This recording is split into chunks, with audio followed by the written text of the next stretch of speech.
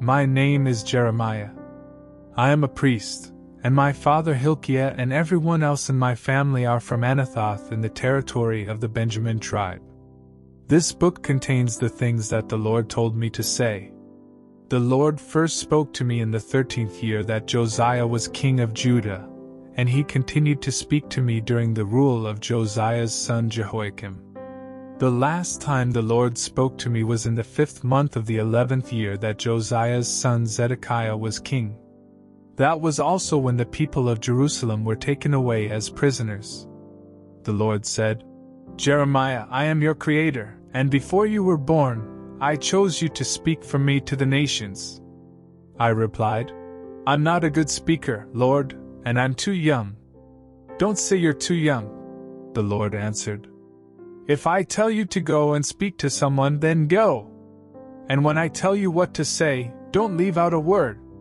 I promise to be with you and keep you safe, so don't be afraid. The Lord reached out his hand, then he touched my mouth and said, I am giving you the words to say, and I am sending you with authority to speak to the nations for me.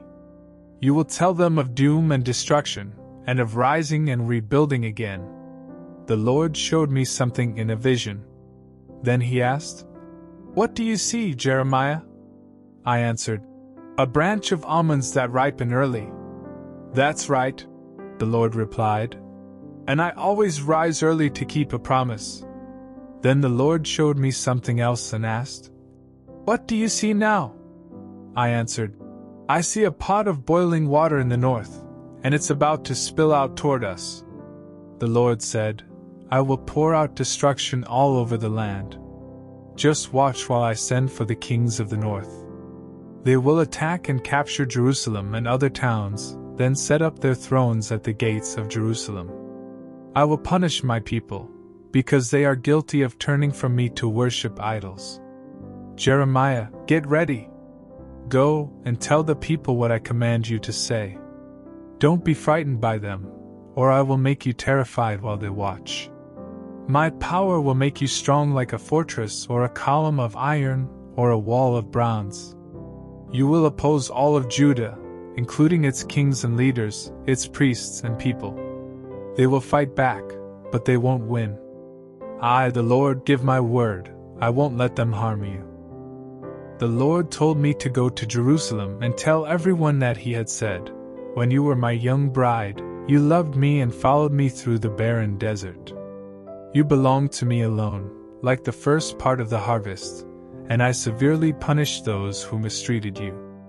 Listen, people of Israel, and I, the Lord, will speak. I was never unfair to your ancestors, but they left me and became worthless by following worthless idols.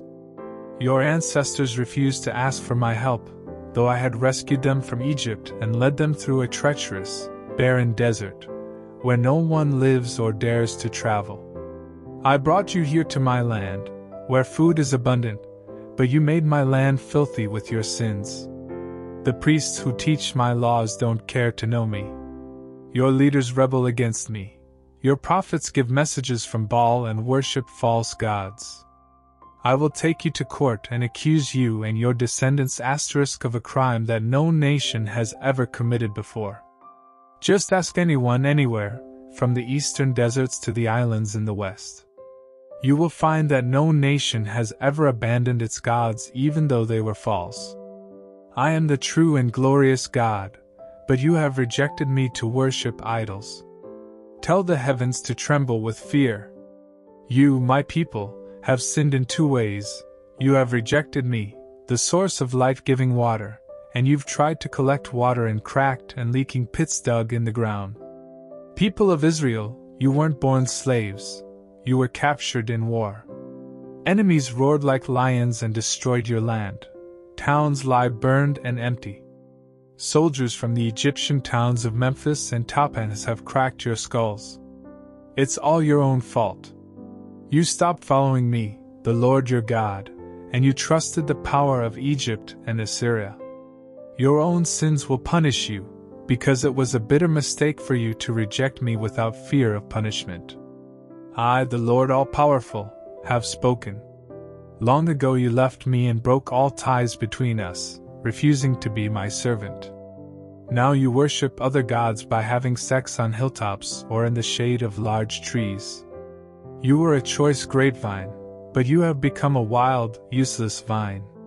The Lord said, People of Israel, you are stained with guilt, and no soap or bleach can wash it away. You deny your sins and say, We aren't unclean. We haven't worshipped Baal. But think about what you do in Hinnom Valley. You run back and forth like young camels, as you rush to worship one idol after another. You are a female donkey sniffing the desert air, wanting to mate with just anyone. You are an easy catch. Your shoes are worn out, and your throat is parched from running here and there to worship foreign gods. Stop! I shouted, but you replied, No! I love those gods too much. You and your leaders are more disgraceful than thieves. You and your kings, your priests and prophets worship stone idols and sacred poles as if they had created you and had given you life. You have rejected me, but when you're in trouble, you cry to me for help. Go cry to the gods you made. There should be enough of them to save you, because Judah has as many gods as it has towns. The Lord said to Israel, You accuse me of not saving you, but I say you have rebelled. I tried punishing you, but you refused to come back to me, and like fierce lions you killed my prophets. Now listen to what I say. Did I abandon you in the desert or surround you with darkness? You are my people, yet you have told me. We'll do what we want, and we refuse to worship you. A bride could not forget to wear her jewelry to her wedding, but you have forgotten me day after day. You are so clever at finding lovers that you could give lessons to a prostitute. You killed innocent people for no reason at all. And even though their blood can be seen on your clothes, you claim to be innocent, and you want me to stop being angry with you. So I'll take you to court, and we'll see who is right. When Assyria let you down, you quickly ran to Egypt, but you'll find no help there, and you will leave in great sadness. I won't let you find help from those you trust. The Lord said to the people of Israel If a divorced woman marries, can her first husband ever marry her again? No, because this would pollute the land. But you have more gods than a prostitute has lovers. Why should I take you back? Just try to find one hilltop where you haven't gone to worship other gods by having sex. You sat beside the road like a robber in ambush, except you offered yourself to every passerby. Your sins of unfaithfulness have polluted the land. So I, the Lord, refuse to let the spring rains fall. But just like a prostitute, you still have no shame for what you have done. You call me your father or your long lost friend. You beg me to stop being angry, but you won't stop sinning. When Josiah was king, the Lord said, Jeremiah, the kingdom of Israel was like an unfaithful wife who became a prostitute on the hilltops and in the shade of large trees. I knew that the kingdom of Israel had been unfaithful and committed many sins, yet I still hoped she might come back to me. But she didn't, so I divorced her and sent her away. Her sister, the kingdom of Judah, saw what happened, but she wasn't worried in the least, and I watched her become unfaithful like her sister. The kingdom of Judah wasn't sorry for being a prostitute, and she didn't care that she had made both herself and the land unclean by worshipping idols of stone and wood. And worst of all, the people of Judah pretended to come back to me. Even the people of Israel were honest enough not to pretend. Jeremiah, shout toward the north Israel, I am your Lord, come back to me. You were unfaithful and made me furious, but I am merciful, and so I will forgive you. Just admit that you rebelled and worshipped foreign gods under large trees everywhere. You are unfaithful children, but you belong to me. Come home. I'll take one or two of you from each town and clan and bring you to Zion. Then I'll appoint wise rulers who will obey me, and they will care for you like shepherds. You will increase in numbers, and there will be no need to remember the sacred chest or to make a new one. The whole city of Jerusalem will be my throne. All nations will come here to worship me, and they will no longer follow their stubborn, evil hearts. Then, in countries to the north, you people of Judah and Israel will be reunited, and you will return to the land I gave your ancestors. I have always wanted to treat you as my children and give you the best land, the most beautiful on earth. I wanted you to call me, Father, and not turn from me. But instead, you are like a wife who broke her wedding vows. You have been unfaithful to me. I, the Lord, have spoken. The Lord said, Listen to the noise on the hilltops. It's the people of Israel, weeping and begging me to answer their prayers. They forgot about me and chose the wrong path. I will tell them, Come back, and I will cure you of your unfaithfulness. They will answer, We will come back, because you are the Lord our God. On hilltops, we worshipped idols and made loud noises, but it was all for nothing, only you can save us.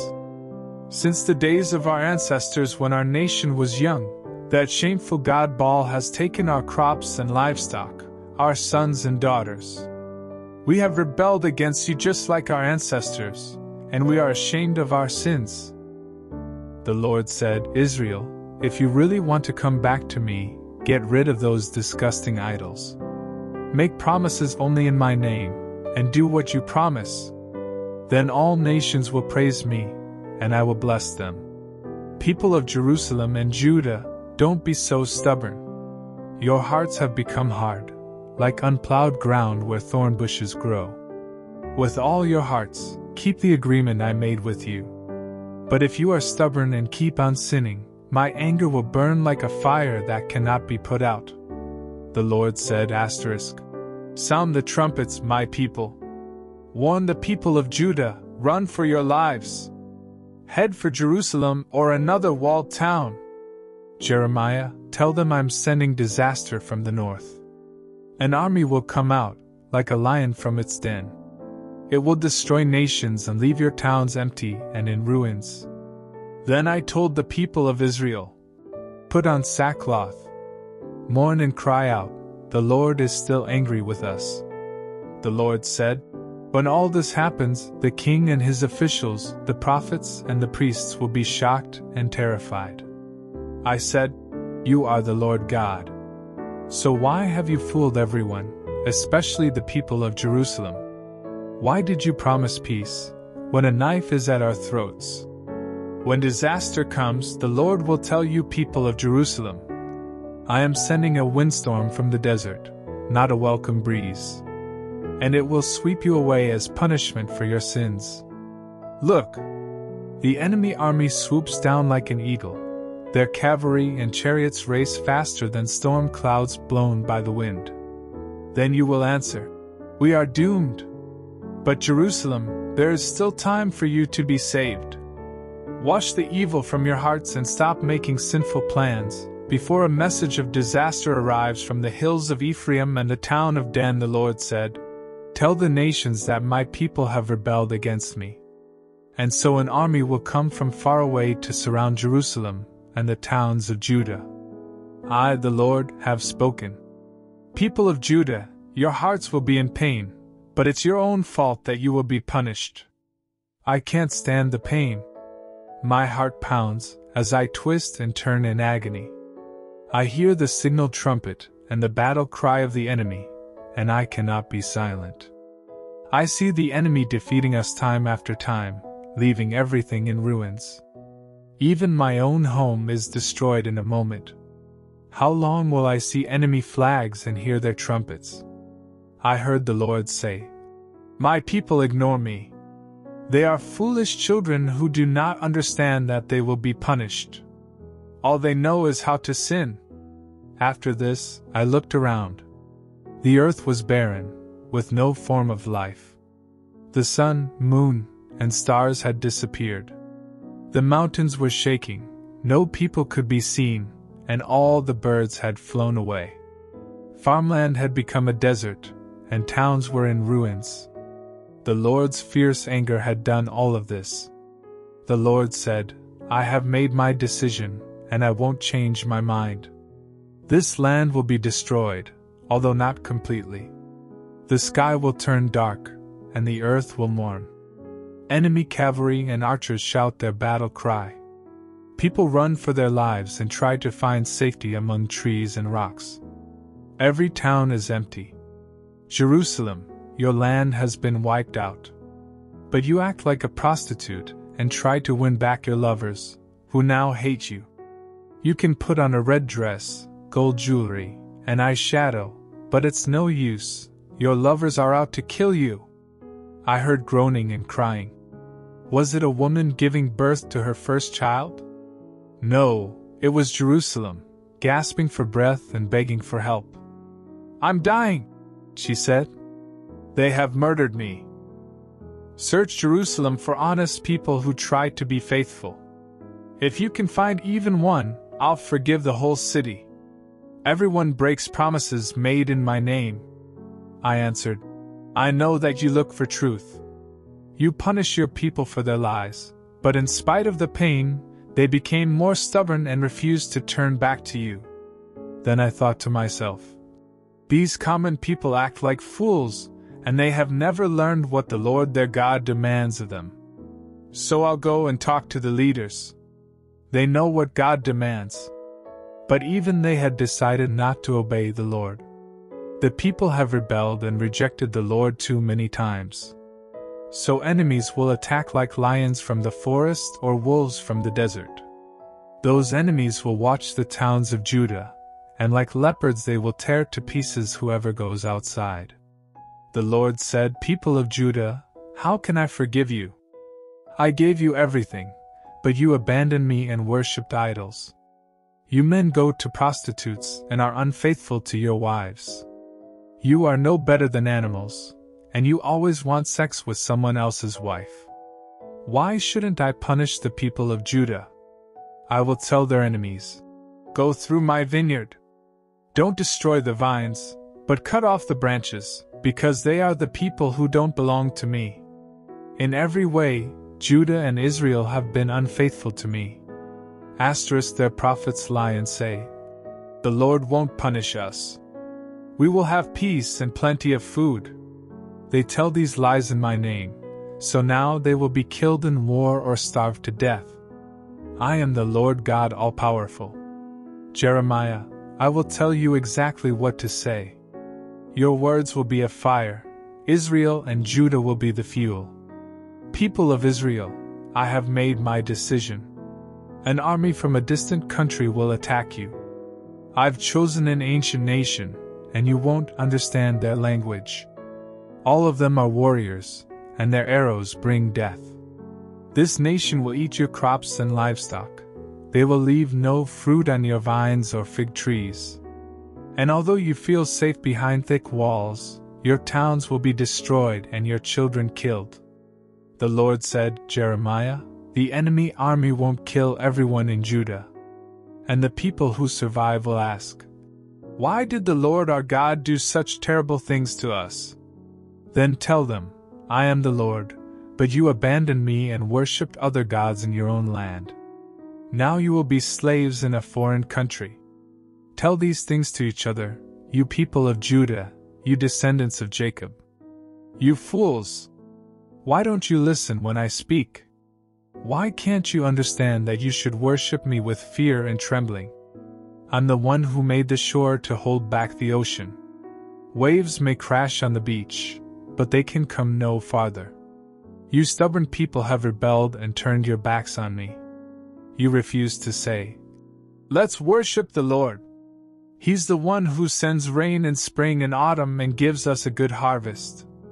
That's why I cannot bless you. Asterisk a hunter traps birds and puts them in a cage, but some of you trap humans and make them your slaves. You are evil, and you lie and cheat to make yourselves rich. You are powerful and prosperous, but you refuse to help the poor get the justice they deserve. You need to be punished, and so I will take revenge. Look at the terrible things going on in this country. I am shocked. Prophets give their messages in the name of a false God. My priests don't want to serve me, and you, my own people, like it this way. But on the day of disaster, where will you turn for help? Run for your lives, people of Benjamin. Get out of Jerusalem. Sound a trumpet in Tekoa and light a signal fire in Beth Soon you will be struck by disaster from the north. Jerusalem is a lovely pasture, but shepherds will surround it and divide it up, then let their flocks eat all the grass. Kings will tell their troops If we reach Jerusalem in the morning, we'll attack at noon. But if we arrive later, we'll attack after dark and destroy its fortresses. I am the Lord All Powerful and I will command these armies to chop down trees and build a ramp up to the walls of Jerusalem. People of Jerusalem, I must punish you for your injustice. Evil pours from your city like water from a spring. Sounds of injustice and violence echo within your walls. Victims are everywhere, wounded and dying. Listen to me, you people of Jerusalem and Judah. I will abandon you, and your land will become an empty desert. I will tell your enemies to leave your nation bare like a vine stripped of grapes. I, the Lord All Powerful, have spoken. I have told the people that you, Lord, will punish them, but they just laugh and refuse to listen. Your anger against Judah flames up inside me, and I can't hold it in much longer. The Lord answered, Don't hold back my anger. Let it sweep away everyone, the children at play and all adults, young and old alike. I'll punish the people of Judah and give to others their houses and fields, as well as their wives. I, the Lord, have spoken. Everyone is greedy and dishonest, whether poor or rich. Even the prophets and priests cannot be trusted. All they ever offer to my deeply wounded people are empty hopes for peace. They should be ashamed of their disgusting sins, but they don't even blush. And so, when I punish Judah, they will end up on the ground, dead like everyone else. I, the Lord, have spoken. The Lord said, My people, when you stood at the crossroads, I told you, Follow the road your ancestors took, and you will find peace. But you refused. I also sent prophets to warn you of danger, but when they sounded the alarm, you paid no attention. So I tell all nations on earth Watch what I will do. My people ignored me and rejected my laws. They planned to do evil, and now the evil they planned will happen to them. People of Judah, you bring me incense from Sheba and spices from distant lands. You offer sacrifices of all kinds. But why bother? I hate these gifts of yours. So I will put stumbling blocks in your path, and everyone will die including parents and children, neighbors and friends. The Lord said, Look toward the north, where a powerful nation has prepared for war. Its well armed troops are cruel and never show mercy. Their galloping horses sound like ocean waves pounding on the shore. This army will attack you, lovely Jerusalem. Then the people said, Just hearing about them makes us tremble with fear and we twist and turn in pain like a woman giving birth. The Lord said, Don't work in your fields or walk along the roads. It's too dangerous. The enemy is well armed and attacks without warning. So mourn, my people, as though your only child had died. Wear clothes made of sackcloth and roll in the ash pile.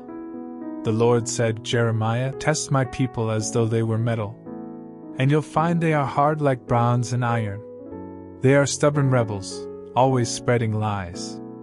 Asterisk silver can be purified in a fiery furnace, but my people are too wicked to be made pure, and so I have rejected them. The Lord told me to stand by the gate of the temple and tell the people who were going in that the Lord All Powerful, the God of Israel, had said, Pay attention, people of Judah, Change your ways and start living right, then I will let you keep on living in your own country. Don't fool yourselves. My temple is here in Jerusalem, but that doesn't mean I will protect you. I will keep you safe only if you change your ways and are fair and honest with each other. Stop taking advantage of foreigners, orphans, and widows. Don't kill innocent people. And stop worshipping other gods. Then I will let you enjoy a long life in this land I gave your ancestors. But just look at what is happening. You put your trust in worthless lies. You steal and murder. You lie in court and are unfaithful in marriage. You worship idols and offer incense to Baal, when these gods have never done anything for you. And then you come into my temple and worship me. Do you think I will protect you so that you can go on sinning? You are thieves, and you have made my temple your hideout. But I've seen everything you have done. Go to Shiloh, where my sacred tent once stood. Take a look at what I did there. My people Israel sinned, and so I destroyed Shiloh. While you have been sinning, I have been trying to talk to you, but you refuse to listen.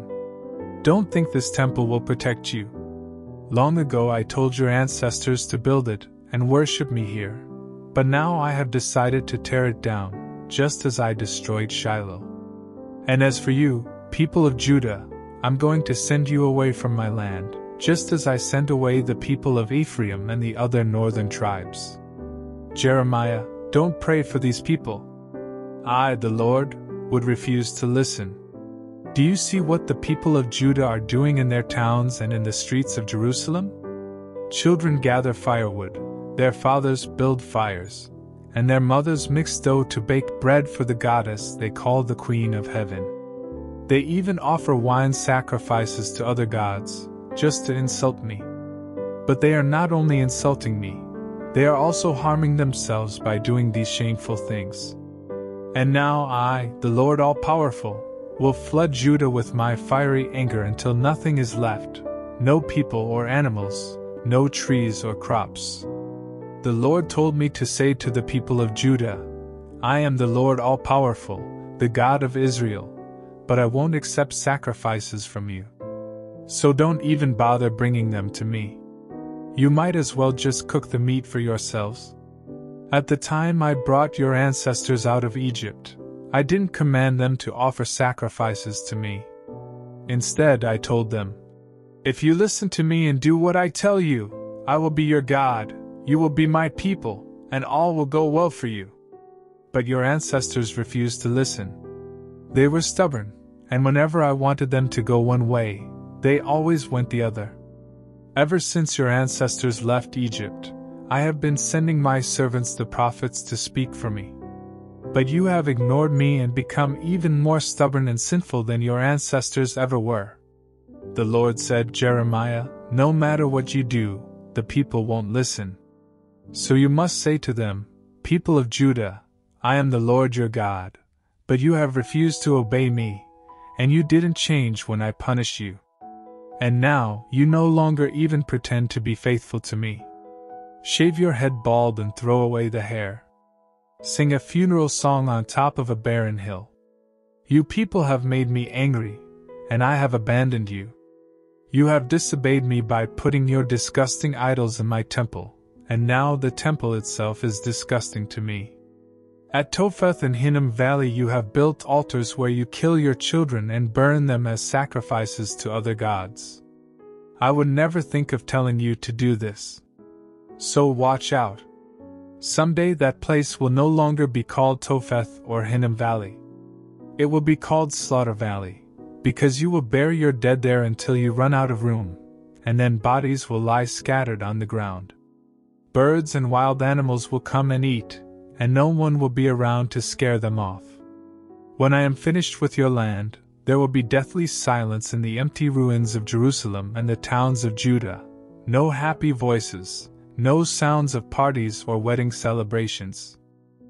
Then the bones of the dead kings of Judah and their officials will be dug up, along with the bones of the priests, the prophets, and everyone else in Jerusalem who loved and worshipped the sun, moon, and stars. These bones will be scattered and left lying on the ground like trash, where the sun and moon and stars can shine on them. Some of you people of Judah will be left alive, but I will force you to go to foreign countries, and you will wish you were dead. I, the Lord God All Powerful, have spoken.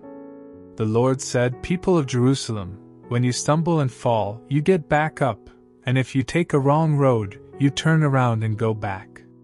So why do you refuse to come back to me? Why do you hold so tightly to your false gods? I listened carefully, but none of you admit that you've done wrong. Without a second thought, you run down the wrong road like horses running blindly into battle. Storks, doves, swallows, and thrushes all know when it's time to fly away for the winter and when to come back. But you, my people, don't know what I demand. You say, We are wise because we have the teachings and laws of the Lord. But I say that your teachers have turned my words into lies. Your wise men have rejected what I say, and so they have no wisdom. Now they will be trapped and put to shame. They won't know what to do. I'll give their wives and fields to strangers. Everyone is greedy and dishonest, whether poor or rich. Even the prophets and priests cannot be trusted. All they ever offer to my deeply wounded people are empty hopes for peace. They should be ashamed of the way they live, but they don't even blush. And so, when I punish Judah, they will end up on the ground, dead like everyone else. I will wipe them out. They are vines without grapes, fig trees without figs or leaves. They have not done a thing that I told them. I, the Lord, have spoken. The people of Judah say to each other, What are we waiting for? Let's run to a town with walls and die there. We rebelled against the Lord, and we were sentenced to die by drinking poison. We had hoped for peace and a time of healing, but all we got was terror. Our enemies have reached the town of Dan in the north, and the snorting of their horses makes us tremble with fear. The enemy will destroy Jerusalem and our entire nation. No one will survive. Watch out, the Lord says. I'm sending poisonous snakes to attack you, and no one can stop them. I'm burdened with sorrow and feel like giving up. In a foreign land, my people are crying. Listen. You'll hear them say, Has the Lord deserted Zion? Is he no longer its king? I hear the Lord reply, Why did you make me angry by worshipping useless idols? The people complain, Spring and summer have come and gone, but still the Lord hasn't rescued us. My people are crushed, and so is my heart. I am horrified and mourn. If medicine and doctors may be found in Gilead, why aren't my people healed? I wish that my eyes were fountains of tears, so I could cry day and night for my people who were killed. I wish I could go into the desert and find a hiding place from all who are treacherous and unfaithful to God. The Lord replied, Lies come from the mouths of my people like arrows from a bow. With each dishonest deed, their power increases, and not one of them will admit that I am God. Jeremiah, all your friends and relatives tell lies about you, so don't trust them. They wear themselves out, always looking for a new way to cheat their friends. Everyone takes advantage of everyone else, and no one will admit that I am God. And so I will purify the hearts of my people just as gold is purified in a furnace. I have no other choice. They say they want peace, but this lie is deadly, like an arrow that strikes when you least expect it. Give me one good reason not to punish them as they deserve. I, the Lord All Powerful, have spoken. I weep for the pasture land in the hill country. It's so barren and scorched that no one travels there. No cattle can be found there, and birds and wild animals have all disappeared. I heard the Lord reply, When I am finished, Jerusalem and the towns of Judah will be piles of ruins where only jackals live. I said to the Lord, None of us can understand why the land has become like an uncrossable desert. Won't you explain why? The Lord said, I destroyed the land because the people disobeyed me and rejected my laws and teachings. They were stubborn and worshipped Baal, just as their ancestors did. So I, the Lord All Powerful, the God of Israel, promised them poison to eat and drink. I'll scatter them in foreign countries that they and their ancestors have never even heard of. Finally, I will send enemy soldiers to kill every last one of them. The Lord All Powerful said, Make arrangements now for the women who are paid to weep at funerals, especially the women who can cry the loudest. The people answered, Let them come quickly and cry for us, until our own eyes are flooded with tears. Now those of us on Zion cry, We are ruined! We can't stand the shame. Our homes have been destroyed, and we must leave our land. We asked you women to pay attention to what the Lord says. We will teach you a funeral song that you can teach your daughters and friends. We were in our fortress, but death sneaked in through our windows. It even struck down children at play and our strongest young men. The Lord has told us the ground will be covered with dead bodies, like ungathered stalks of grain or manure in a field. The Lord says, Don't brag about your wisdom or strength or wealth. If you feel you must brag, then have enough sense to brag about worshiping me, the Lord. What I like best is showing kindness, justice, and mercy to everyone on earth. Someday I will punish the nations of Egypt, Edom, Ammon, and Moab, and the tribes of the desert. The men of these nations are circumcised, but they don't worship me. And it's the same with you people of Judah. Your bodies are circumcised, but your hearts are unchanged. The Lord said, Listen to me, you people of Israel. Don't follow the customs of those nations who become frightened when they see something strange happen in the sky. Their religion is worthless. They chop down a tree, carve the wood into an idol, cover it with silver and gold, and then nail it down so it won't fall over. An idol is no better than a scarecrow. It can't speak, and it has to be carried, because it can't walk. Why worship an idol that can't help or harm you? Our Lord, great and powerful, you alone are God. You are King of the nations. Everyone should worship you.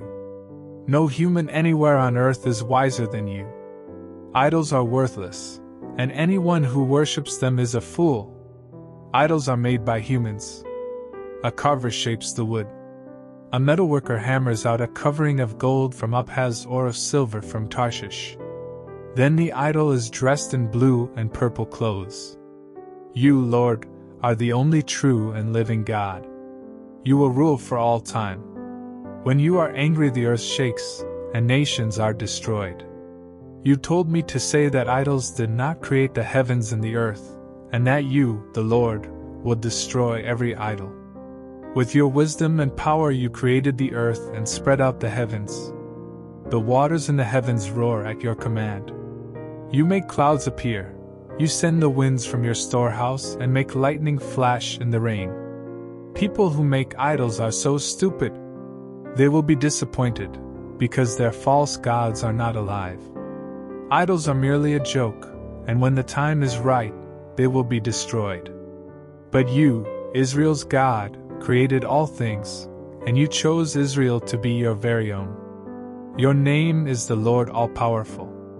I said to the people of Judah, Gather your things, you are surrounded. The Lord said these troubles will lead to your capture and he will throw you from this land like a rock from a sling. The people answered, We are wounded and doomed to die. Why did we say we could stand the pain? Our homes are destroyed, our children are dead. No one is left to help us find shelter. But I told them, Our leaders were stupid failures, because they refused to listen to the Lord. And so we've been scattered like sheep. Sounds of destruction rumble from the north like distant thunder. Soon our towns will be ruins where only jackals live. I know, Lord, that we humans are not in control of our own lives. Correct me, as I deserve, but not in your anger, or I will be dead. Our enemies refuse to admit that you are God or to worship you. They have wiped out our people and left our nation lying in ruins. So get angry and sweep them away the Lord God told me to say to the people of Judah and Jerusalem, I, the Lord, am warning you that I will put a curse on anyone who doesn't keep the agreement I made with Israel. So pay attention to what it says. My commands haven't changed since I brought your ancestors out of Egypt, a nation that seemed like a blazing furnace where iron ore is melted. I told your ancestors that if they obeyed my commands, I would be their God, and they would be my people. Then I did what I had promised and gave them this wonderful land, where you now live. Yes, Lord, I replied. That's true. Then the Lord told me to say to everyone on the streets of Jerusalem and in the towns of Judah, Pay attention to the commands in my agreement with you. Ever since I brought your ancestors out of Egypt, I have been telling your people to obey me. But you and your ancestors have always been stubborn. You have refused to listen, and instead you have done whatever your sinful hearts have desired. You have not kept the agreement we made, so I will make you suffer every curse that goes with it. The Lord said to me, Jeremiah, the people of Judah and Jerusalem are plotting against me. They have sinned in the same way their ancestors did, by turning from me and worshipping other gods. The northern kingdom of Israel broke the agreement I made with your ancestors, and now the southern kingdom of Judah has done the same. Here is what I've decided to do I will bring suffering on the people of Judah and Jerusalem, and no one will escape. They will beg me to help, but I won't listen to their prayers. Then they will offer sacrifices to their other gods and ask them for help. After all, the people of Judah have more gods than towns, and more shameful altars for Baal than there are streets in Jerusalem. But those gods won't be able to rescue the people of Judah from disaster. Jeremiah, don't pray for these people or beg me to rescue them. If you do, I won't listen, and I certainly won't listen if they pray. Then the Lord told me to say to the people of Judah, You are my chosen people, but you have no right to be here in my temple, doing such evil things. The sacrifices you offer me won't protect you from disaster, so stop celebrating. Once you were like an olive tree covered with fruit. But soon I will send a noisy mob to break off your branches and set you on fire. I am the Lord all powerful. You people of Judah were like a tree that I had planted, but you have made me angry by offering sacrifices to Baal, just as the northern kingdom did. And now I'm going to pull you up by the roots.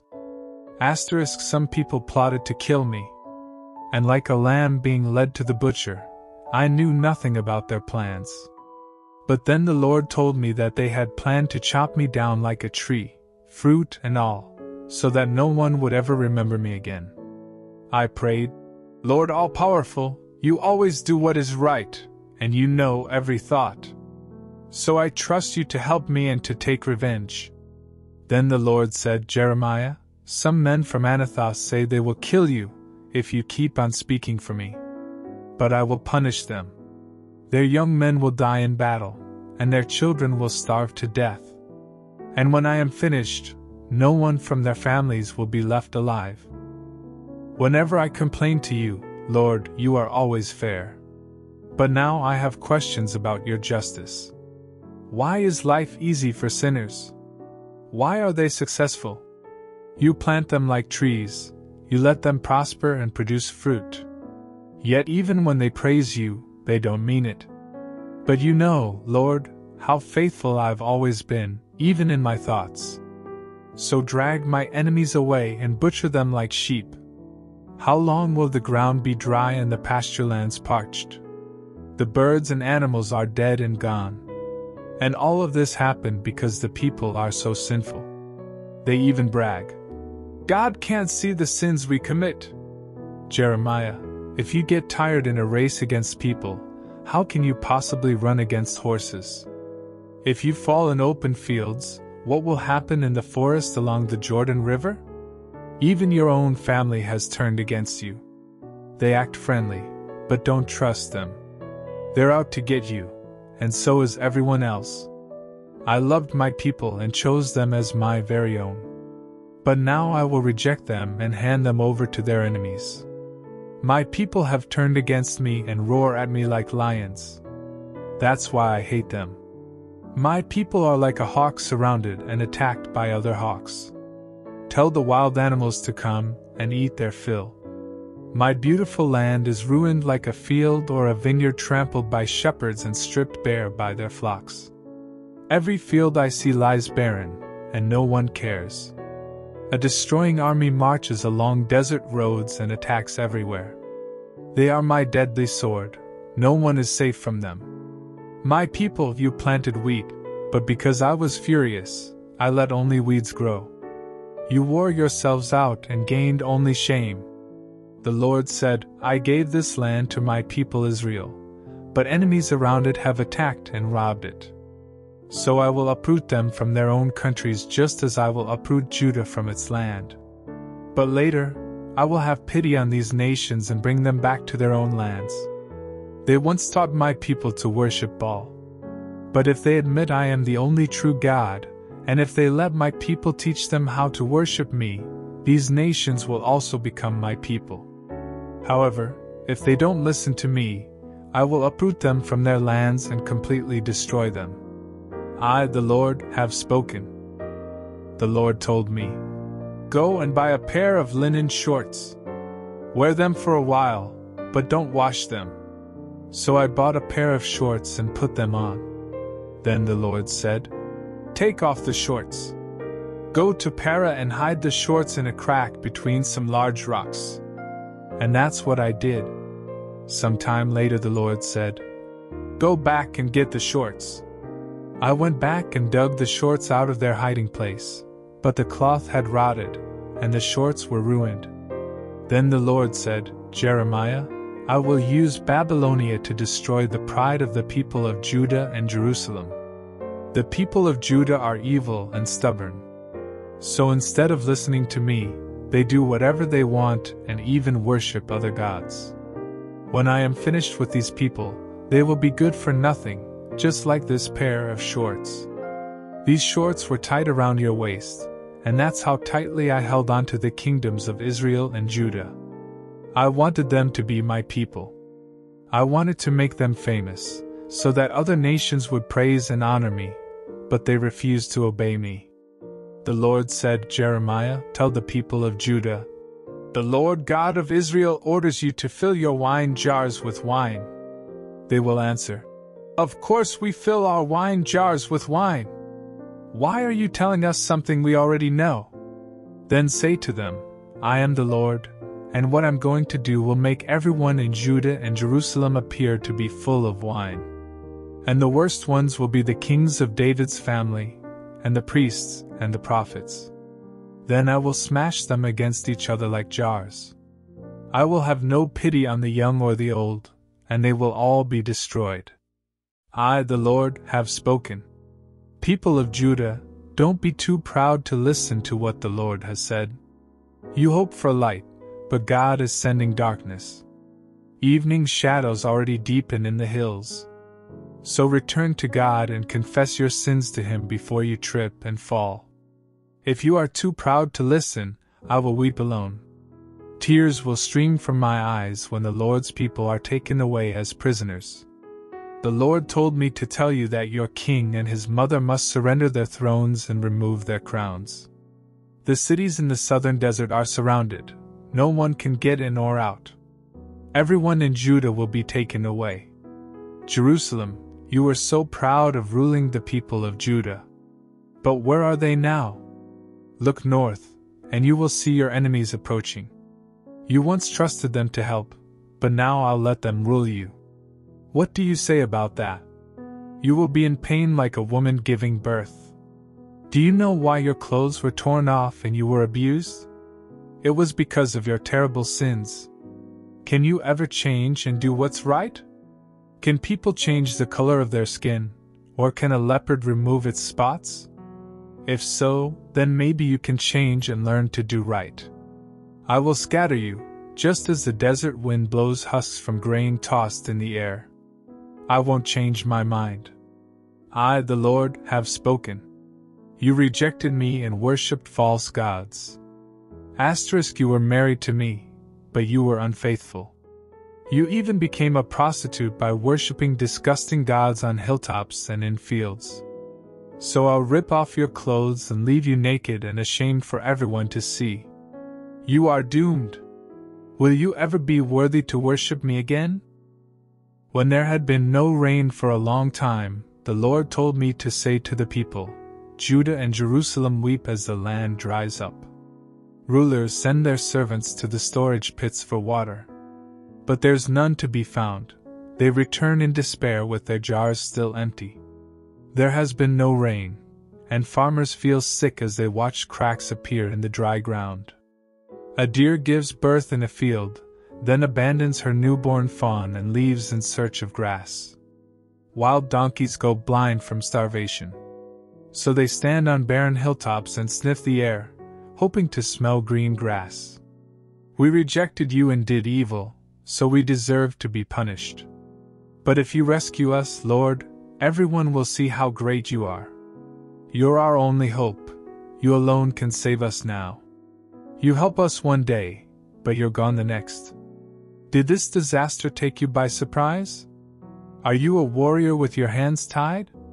You have chosen us, and your temple is here. Don't abandon us. My people, you love to wander away. You don't even try to stay close to me. So now I will reject you and punish you for your sins. I, the Lord, have spoken. The Lord said, Jeremiah, don't ask me to help these people. They may even go without eating and offer sacrifices to please me and to give thanks. But when they cry out for my help, I won't listen, and I won't accept their sacrifices. Instead, I'll send war, starvation, and disease to wipe them out.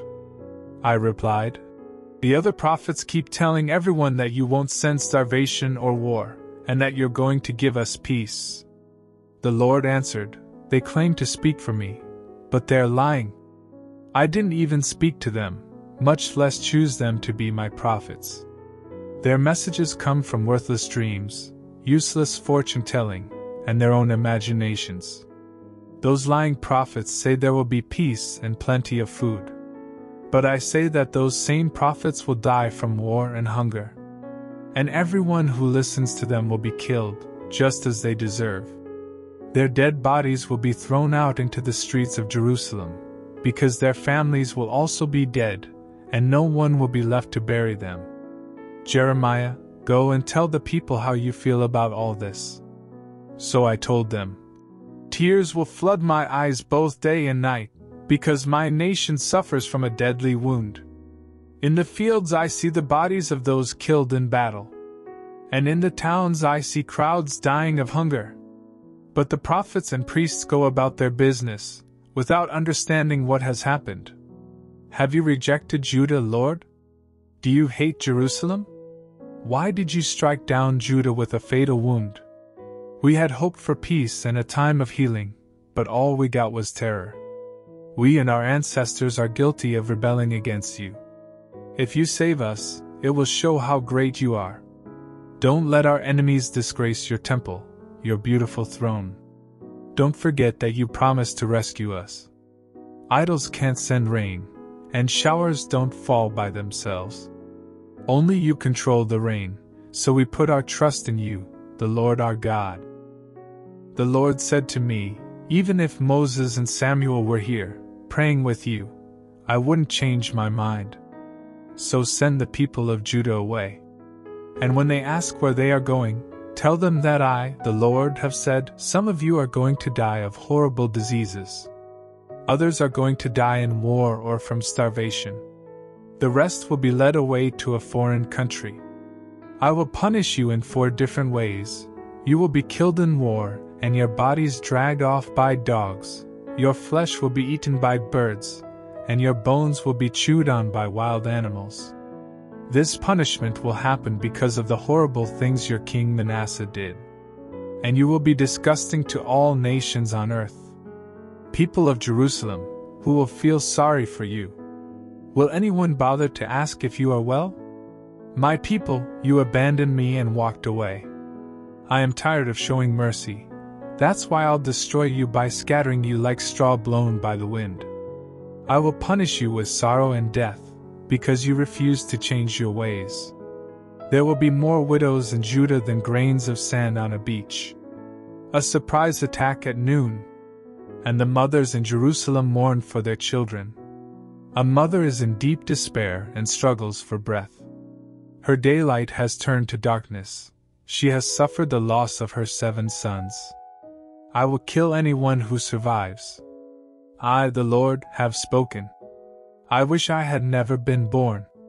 I'm always in trouble with everyone in Judah. I never lend or borrow money, but everyone curses me just the same. Then the Lord replied, I promise to protect you, and when disaster comes, even your enemies will beg you for help. The Lord told me to say, People of Judah, just as you can't break iron mixed with bronze, you can't defeat the enemies that will attack from the north. I will give them everything you own, because you have sinned everywhere in your country. My anger is a fire that cannot be put out, so I will make you slaves of your enemies in a foreign land. You can see how I suffer insult after insult, all because of you, Lord. Don't be so patient with my enemies. Take revenge on them before they kill me. When you spoke to me, I was glad to obey, because I belong to you, the Lord All Powerful. I don't go to parties and have a good time. Instead, I keep to myself, because you have filled me with your anger. I am badly injured and in constant pain. Are you going to disappoint me, like a stream that goes dry in the heat of summer? Then the Lord told me, Stop talking like a fool. If you turn back to me and speak my message, I will let you be my prophet once again. I hope the people of Judah will accept what you say. But you can ignore their threats, asterisk because I am making you strong, like a bronze wall. They are evil and violent, but when they attack, I will be there to rescue you. I, the Lord, have spoken. The Lord said to me, Jeremiah, don't get married and have children. Judah is no place to raise a family. I'll tell you what's going to happen to children and their parents here. They will die of horrible diseases and of war and starvation. No one will give them a funeral or bury them, and their bodies will be food for the birds and wild animals. And what's left will lie on the ground like manure. When someone dies, don't visit the family or show any sorrow. I will no longer love or bless or have any pity on the people of Judah. Rich and poor alike will die and be left unburied. No one will mourn and show their sorrow by cutting themselves or shaving their heads. No one will bring food and wine to help comfort those who are mourning the death of their father or mother. Don't even set foot in a house where there is eating and drinking and celebrating. Warn the people of Judah that I, the Lord All Powerful, will put an end to all their parties and wedding celebrations. They will ask, Why has the Lord our God threatened us with so many disasters? Have we done something wrong or sinned against him? Then tell them I have said, People of Judah, your ancestors turned away from me. They rejected my laws and teachings and started worshipping other gods. And you have done even worse. You are stubborn, and instead of obeying me, you do whatever evil comes to your mind. So I will throw you into a land that you and your ancestors know nothing about a place where you will have to worship other gods both day and night. And I won't feel the least bit sorry for you. A time will come when you will again worship me. But you will no longer call me the living Lord who rescued Israel from Egypt. Instead, you will call me the living Lord who rescued you from that country in the north and from the other countries where I had forced you to go. Someday I will bring you back to this land that I gave your ancestors. But for now, I am sending enemies who will catch you like fish and hunt you down like wild animals in the hills and the caves. I can see everything you are doing, even if you try to hide your sins from me.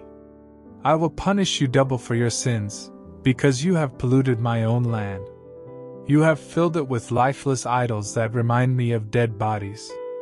I prayed to the Lord, our Lord, you are the one who gives me strength and protects me like a fortress when I am in trouble.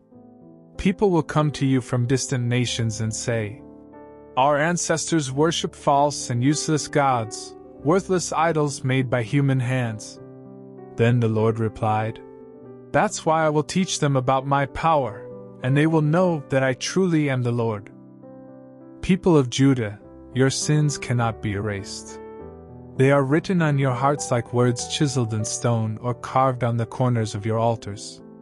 Asterisk one generation after another has set up pagan altars and worshipped the goddess Asherah everywhere in your country, on hills and mountains, and under large trees. So I'll take everything you own, including your altars, and give it all to your enemies. You will lose the land that I gave you, and I will make you slaves in a foreign country, because you have made my anger blaze up like a fire that won't stop burning. I, the Lord, have put a curse on those who turn from me and trust in human strength.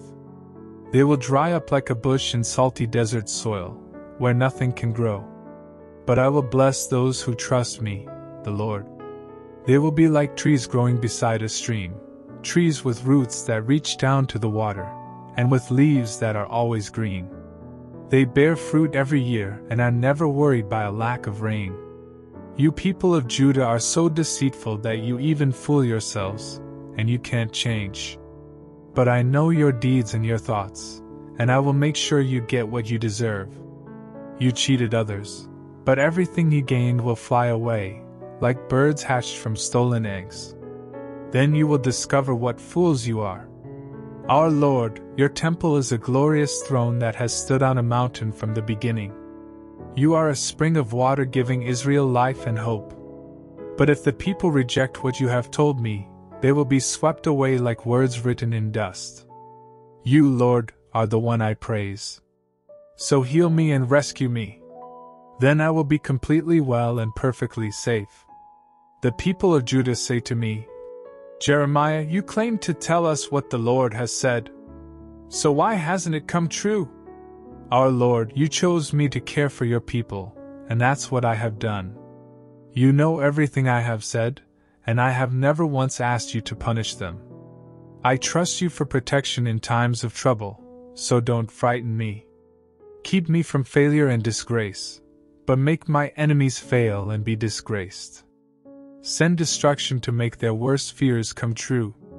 The Lord said, Jeremiah, stand at each city gate in Jerusalem, including the one the king uses, and speak to him and everyone else. Tell them I have said, I am the Lord, so pay attention. If you value your lives, don't do any work on the Sabbath. Don't carry anything through the city gates or through the door of your house, or anywhere else. Keep the Sabbath day sacred. I gave this command to your ancestors, but they were stubborn and refused to obey or to be corrected. But if you obey, then Judah and Jerusalem will always be ruled by kings from David's family. The king and his officials will ride through these gates on horses or in chariots, and the people of Judah and Jerusalem will be with them. There will always be people living in Jerusalem, and others will come here from the nearby villages, from the towns of Judah and Benjamin, from the hill country and the foothills to the west, and from the southern desert. They will bring sacrifices to please me and to give me thanks, as well as offerings of grain and incense. But if you keep on carrying things through the city gates on the Sabbath, and keep treating it as any other day, I will set fire to these gates and burn down the whole city, including the fortresses the Lord told me. Jeremiah, go to the pottery shop, and when you get there, I will tell you what to say to the people. I went there and saw the potter making clay pots on his pottery wheel. And whenever the clay would not take the shape he wanted, he would change his mind and form it into some other shape. Then the Lord told me to say, People of Israel, I, the Lord, have power over you, just as a potter has power over clay. If I threaten to uproot and shatter an evil nation, and that nation turns from its evil, I will change my mind. If I promise to make a nation strong, but its people start disobeying me and doing evil, then I will change my mind and not help them at all. So listen to me, people of Judah and Jerusalem. I have decided to strike you with disaster, and I won't change my mind unless you stop sinning and start living right. But I know you won't listen. You might as well answer. We don't care what you say. We have made plans to sin, and we are going to be stubborn and do as we please. So I, the Lord, command you to ask the nations, and find out if they have ever heard of such a horrible sin as what you have done. The snow on Lebanon's mountains never melts away, and the streams there never run dry. But you, my people, have turned from me to burn incense to worthless idols. You have left the ancient road to follow an unknown path where you stumble over idols. Your land will be ruined, and every passerby will look at it with horror and make insulting remarks. When your enemies attack, I will scatter you like dust blown by an eastern wind. Then, on that day of disaster, I will turn my back on you. Some of the people said, Let's get rid of Jeremiah. We will always have priests to teach us God's laws, as well as wise people to give us advice, and prophets to speak the Lord's messages. So, instead of listening to Jeremiah any longer, let's accuse him of a crime. Please, Lord, answer my prayer. Make my enemies stop accusing me of evil. I tried to help them, but they are paying me back by digging a pit to trap me. I even begged you not to punish them. But now I am asking you to let their children starve or be killed in war. Let women lose their husbands and sons to disease and violence. These people have dug pits and set traps for me, Lord. Make them scream in fear when you send enemy troops to attack their homes. You know they plan to kill me. So get angry and punish them. Don't ever forgive their terrible crimes. The Lord said, Jeremiah, go to the pottery shop and buy a clay jar. Then take along some of the city officials and leading priests and go to Hinnom Valley, just outside Potsherd Gate. Tell the people that I have said, I am the Lord all powerful, the God of Israel, and you kings of Judah and you people of Jerusalem had better pay attention. I am going to bring so much trouble on this valley that everyone who hears about it will be shocked. The people of Judah stopped worshipping me and made this valley into a place of worship for Baal and other gods that have never helped them, or their ancestors, or their kings. And they have committed murder here, burning their young, innocent children as sacrifices to Baal. I have never even thought of telling you to do that. So watch out. Someday this place will no longer be called Topheth or Hinnom Valley. It will be called Slaughter Valley. You people of Judah and Jerusalem may have big plans, but here in this valley I'll ruin those plans. I'll let your enemies kill you, and I'll tell the birds and wild animals to eat your dead bodies. I will turn Jerusalem into a pile of rubble, and every passerby will be shocked and horrified and will make insulting remarks. And while your enemies are trying to break through your city walls to kill you, the food supply will run out. You will become so hungry that you will eat the flesh of your friends and even of your own children. Jeremiah, as soon as you have said this, smash the jar while the people are watching. Then tell them that I have also said, I am the Lord all powerful, and I warn you that I will shatter Judah and Jerusalem just like this jar that is broken beyond repair. You will bury your dead here in Topheth, but so many of you will die that there won't be enough room. I will make Jerusalem as unclean as Topheth, by filling the city with your dead bodies. I will do this because you and your kings have gone up to the roofs of your houses and burned incense to the stars in the sky, as though they were gods and you have given sacrifices of wine to foreign gods. I went to Topheth, where I told the people what the Lord had said. Then I went to the temple courtyard and shouted to the people Listen, everyone! Some time ago, the Lord All Powerful, the God of Israel, warned you that he would bring disaster on Jerusalem and all nearby villages. But you were stubborn and refused to listen. Now the Lord is going to bring the disaster he promised. Pashur son of Immer was a priest and the chief of temple security. He heard what I had said, and so he hit me. Then he had me arrested and put in chains at the Benjamin gate in the Lord's temple. The next day, when Pashur let me go free, I told him that the Lord had said, No longer will I call you Pashur. Instead, I will call you afraid of everything. You will be afraid, and you will bring fear to your friends as well. You will see enemies kill them in battle. Then I will let the king of Babylonia take everyone in Judah prisoner, killing some and dragging the rest away to Babylonia. He will clean out the royal treasury and take everything else of value from Jerusalem. Pashur, you are guilty of telling lies and claiming they were messages from me. That's why I will let the Babylonians take you, your family, and your friends as prisoners to Babylonia, where you will all die and be buried. You tricked me, Lord, and I was really fooled. You are stronger than I am, and you have defeated me. People never stop sneering and insulting me. You have let me announce only injustice and death. Your message has brought me nothing but insults and trouble. Sometimes I tell myself not to think about you, Lord, or even mention your name. But your message burns in my heart and bones, and I cannot keep silent. I heard the crowds whisper. Everyone is afraid. Now's our chance to accuse Jeremiah. All of my so called friends are just waiting for me to make a mistake. They say, maybe Jeremiah can be tricked. Then we can overpower him and get even at last. But you, Lord, are a mighty soldier, standing at my side. Those troublemakers will fall down and fail, terribly embarrassed, forever ashamed. Lord all powerful, you test those who do right, and you know every heart and mind. I have told you my complaints, so let me watch you take revenge on my enemies. I sing praises to you, Lord. You rescue the oppressed from the wicked. Put a curse on the day I was born. Don't bless that day. Put a curse on the man who told my father, Good news! You have a son. May that man be like the towns you destroyed without pity. Let him hear shouts of alarm in the morning and battle cries at noon. He deserves to die for not killing me before I was born. Then my mother's body would have been my grave. Why did I have to be born? Was it just to suffer and die in shame?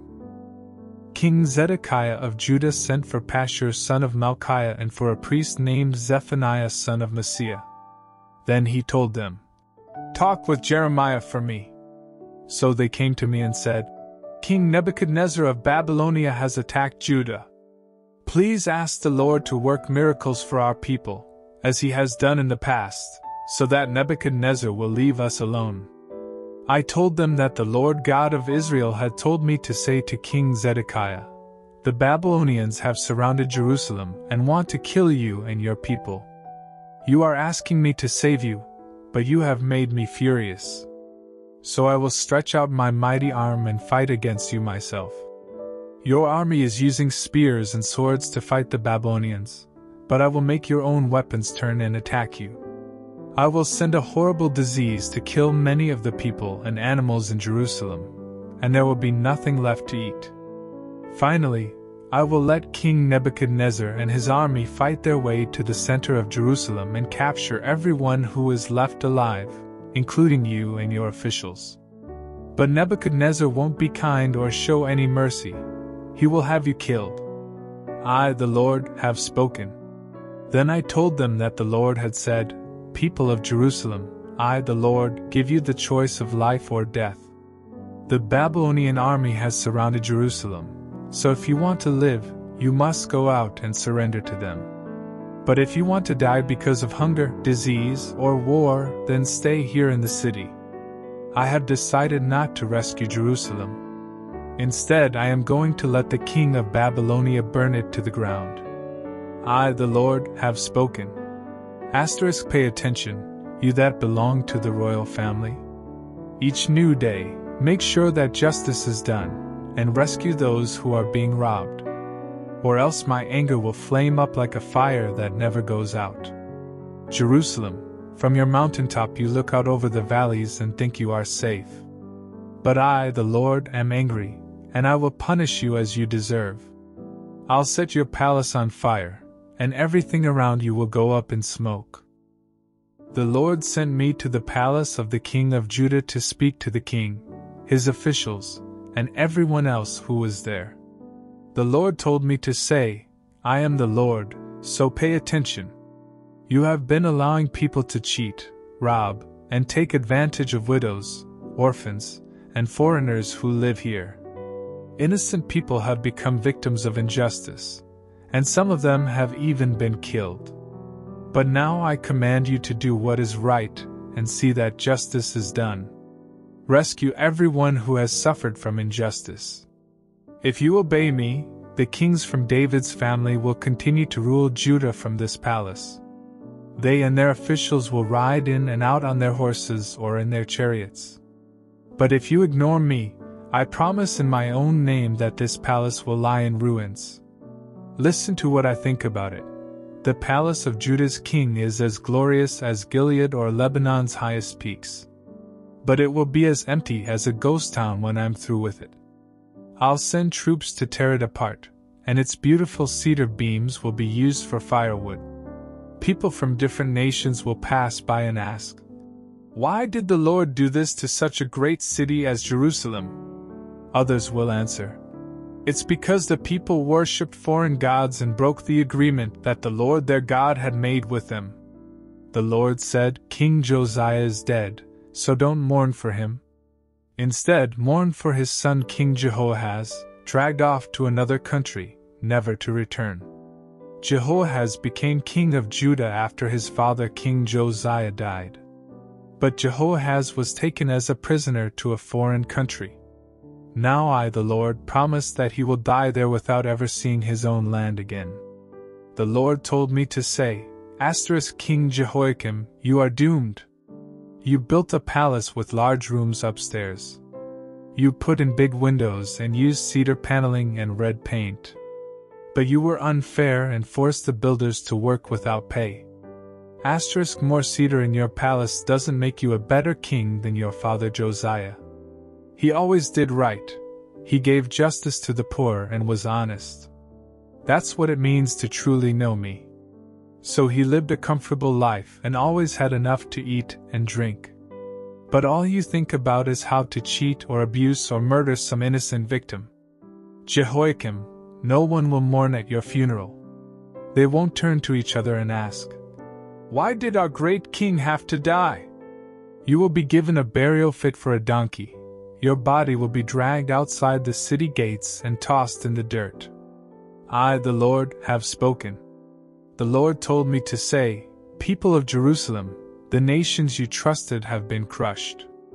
Go to Lebanon and weep, cry in the land of Bashan and in Moab. When times were good, I warned you. But you ignored me, just as you have done since Israel was young. Now you will be disgraced because of your sins. Your leaders will be swept away by the wind, and the nations you trusted will be captured and dragged to a foreign country. Those who live in the palace paneled with cedar will groan with pain like women giving birth. King Jehoiachin, son of Jehoiakim, even if you were the ring I wear as the sign of my royal power, I would still pull you from my finger. I would hand you over to the enemy you fear, to King Nebuchadnezzar and his army, who want to kill you. You and your mother were born in Judah, but I will throw both of you into a foreign country, where you will die longing to return home. Jehoiachin, you are unwanted like a broken clay pot. So you and your children will be thrown into a country you know nothing about. Land of Judah, I am the Lord. Now listen to what I say. Erase the names of Jehoiachin's children from the royal records. He is a complete failure, and so none of them will ever be king. I, the Lord, have spoken. You leaders of my people are like shepherds that kill and scatter the sheep. You were supposed to take care of my people, but instead you chased them away. So now I'll punish you severely and make you pay for your crimes. I will bring the rest of my people home from the lands where I have scattered them, and they will grow into a mighty nation. I promise to choose leaders who will care for them like real shepherds. All of my people will be there, and they will never again be frightened. Someday I will appoint an honest king from the family of David, a king who will be wise and rule with justice. As long as he is king, Israel will have peace, and Judah will be safe. The name of this king will be The Lord gives justice. A time will come when you will again worship me. But you will no longer call me the living God who rescued Israel from Egypt. Instead, you will call me the living God who rescued you from the land in the north, and from all the other countries where I had forced you to go. And you will once again live in your own land. When I think of the prophets, I am shocked, and I tremble like someone drunk, because of the Lord and his sacred words. Those unfaithful prophets misused their power all over the country. So God turned the pasture lands into scorching deserts. The Lord told me to say, You prophets and priests think so little of me, the Lord, that you even sin in my own temple.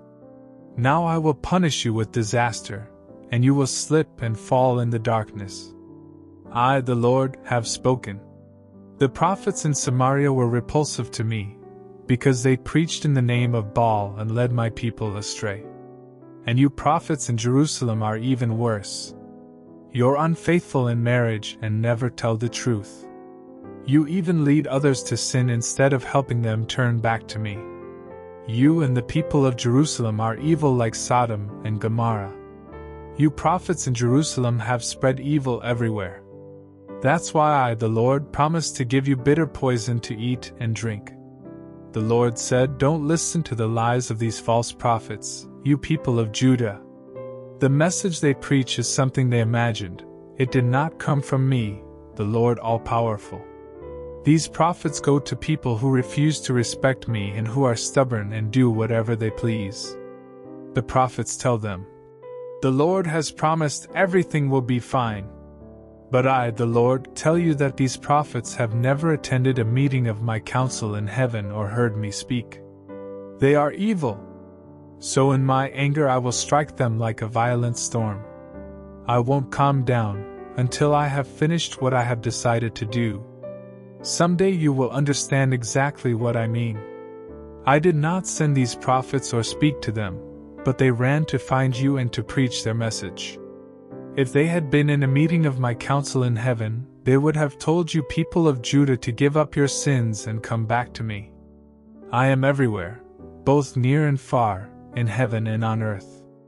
There are no secret places where you can hide from me. These unfaithful prophets claim that I have given them a dream or a vision, and then they tell lies in my name. But everything they say comes from their own twisted minds. How long can this go on?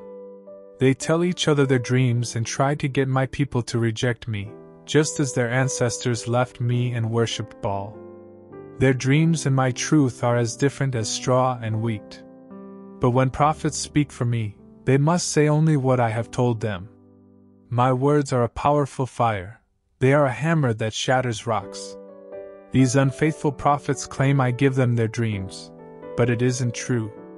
I didn't choose them to be my prophets, and yet they babble on and on, speaking in my name, while stealing words from each other.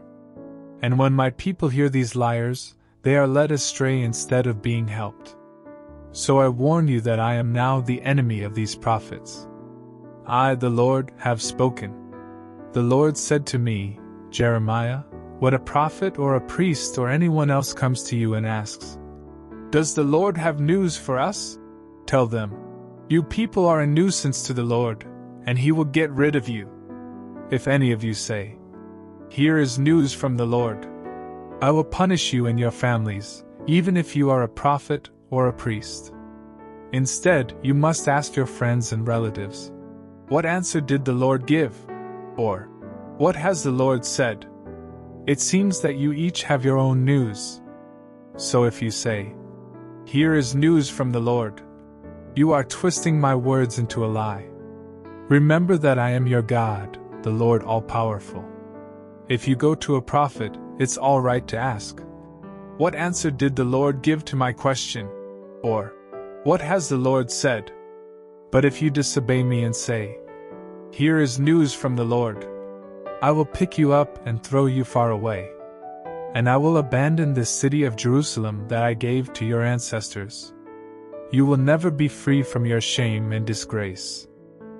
The Lord spoke to me in a vision after King Nebuchadnezzar of Babylonia had come to Judah and taken King Jehoiachin, his officials, and all the skilled workers back to Babylonia. In this vision, I saw two baskets of figs in front of the Lord's temple. One basket was full of very good figs that ripened early, and the other was full of rotten figs that were not fit to eat. Jeremiah, the Lord asked, What do you see? Figs, I said. Some are very good, but the others are too rotten to eat.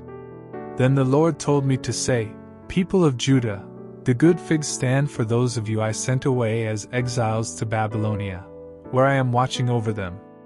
Then someday I will bring them back to this land. I will plant them, instead of uprooting them, and I will build them up, rather than tearing them down. I will give them a desire to know me and to be my people. They will want me to be their God, and they will turn back to me with all their heart.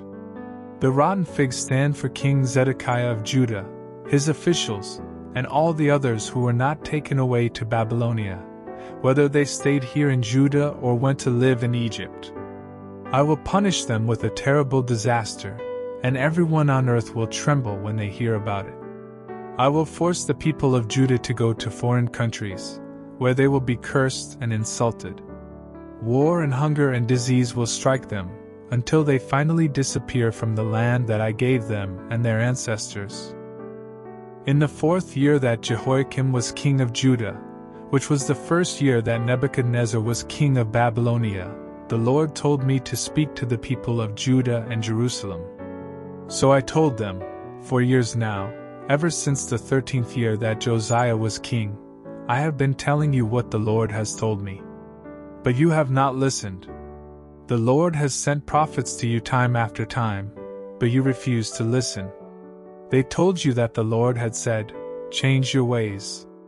If you stop doing evil, I will let you stay forever in this land that I gave your ancestors.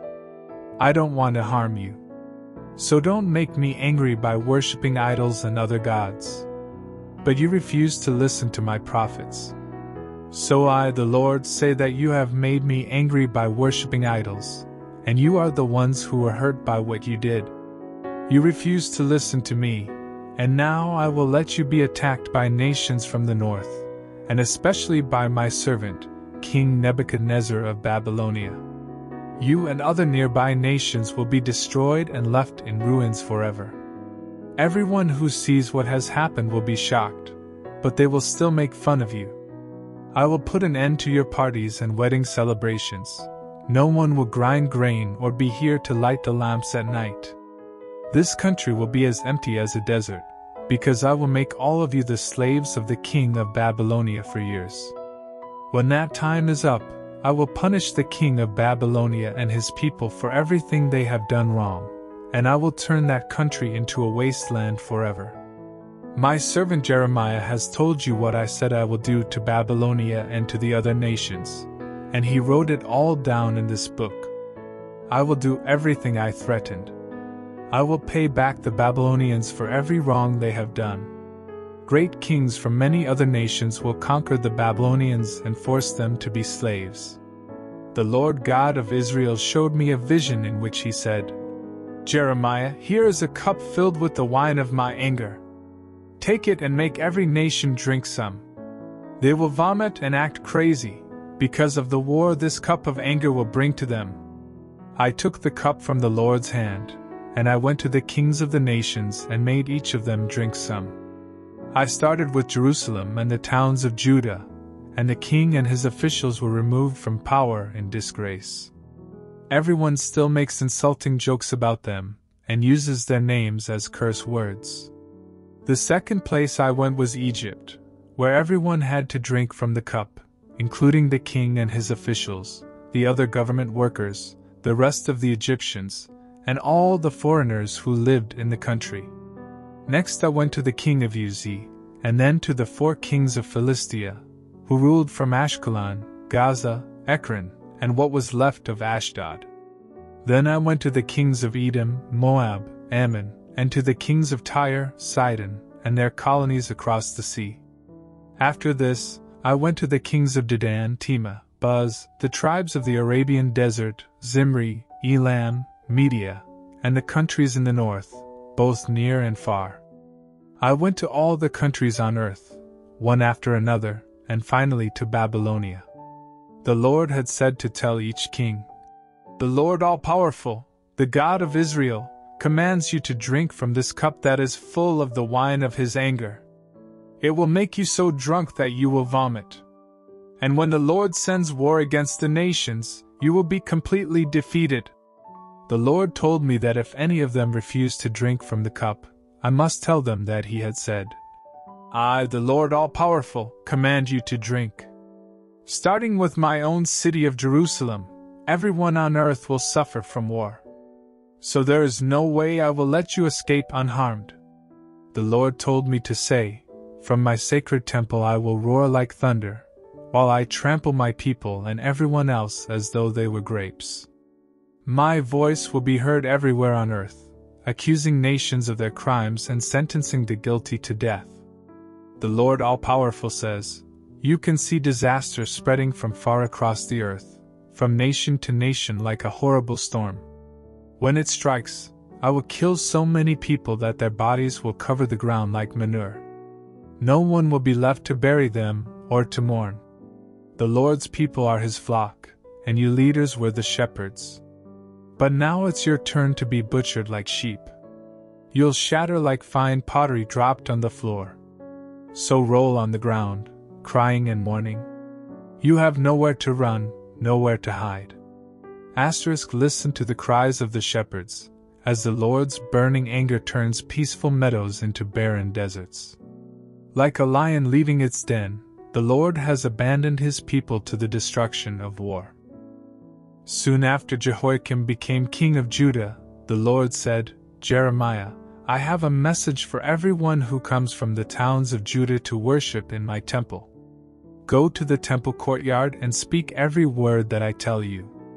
Maybe the people will listen this time. And if they stop doing wrong, I will change my mind and not punish them for their sins. Tell them that I have said, You have refused to listen to me and to obey my laws and teachings. Again and again I have sent my servants the prophets to preach to you but you ignored them as well.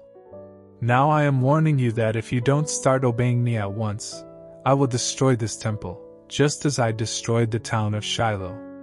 Then everyone on earth will use the name, Jerusalem, as a curse word.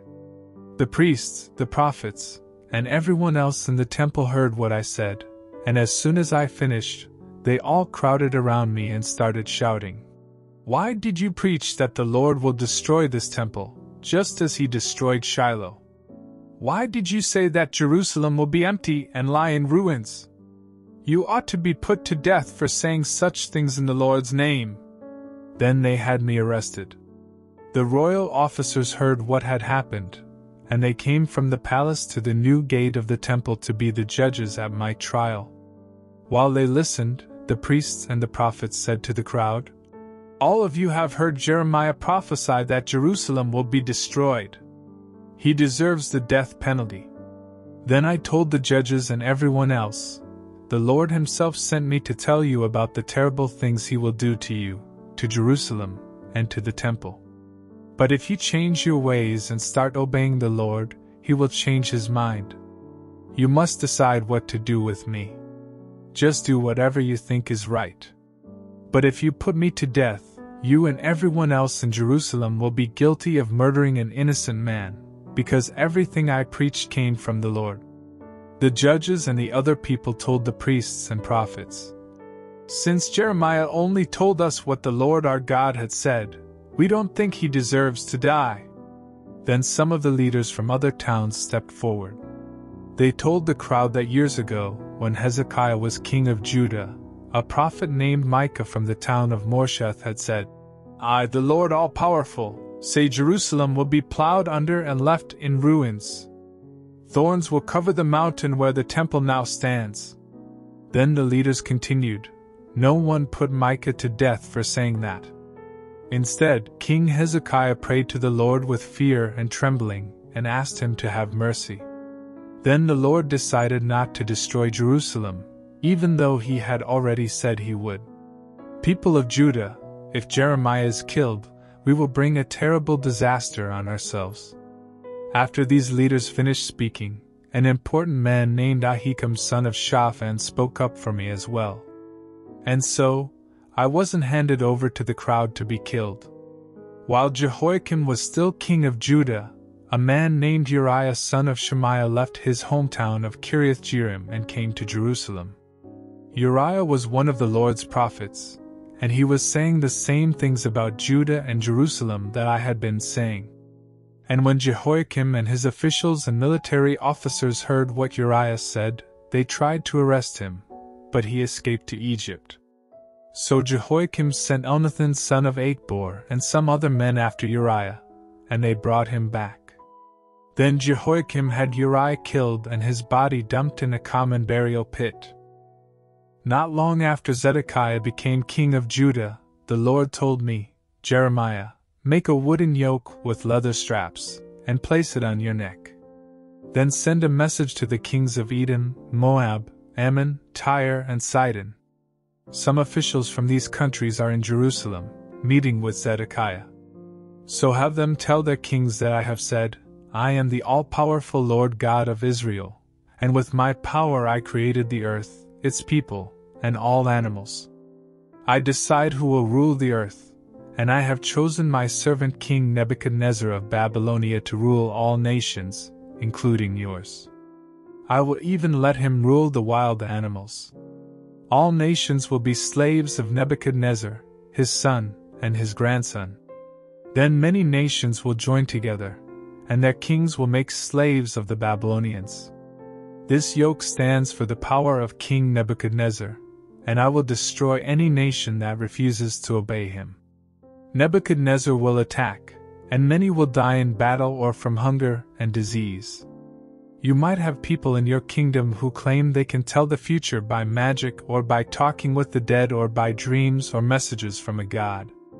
But don't pay attention if any of them tell you not to obey Nebuchadnezzar. If you listen to such lies, I will have you dragged far from your country and killed. But if you and your nation are willing to obey Nebuchadnezzar, I will let you stay in your country, and your people will continue to live and work on their farms.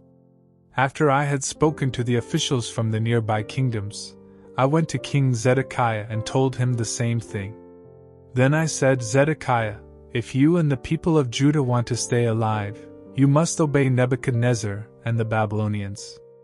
But if you refuse, then you and your people will die from war, hunger, and disease, just as the Lord has warned.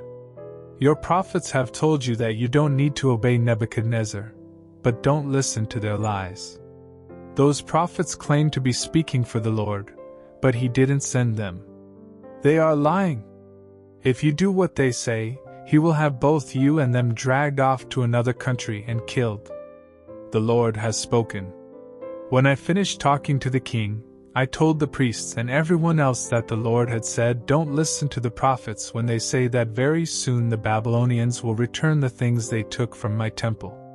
Those prophets are lying. If you choose to obey the king of Babylonia, you will live. But if you listen to those prophets, this whole city will be nothing but a pile of rubble. If I really had spoken to those prophets, they would know what I am going to do. Then they would be begging me not to let everything else be taken from the temple and the king's palace and the rest of Jerusalem. After all, when Nebuchadnezzar took King Jehoiachin to Babylonia as a prisoner, he didn't take everything of value from Jerusalem. He left the bronze pillars, the huge bronze bowl called the sea, and the movable bronze stands in the temple, and he left a lot of other valuable things in the palace and in the rest of Jerusalem.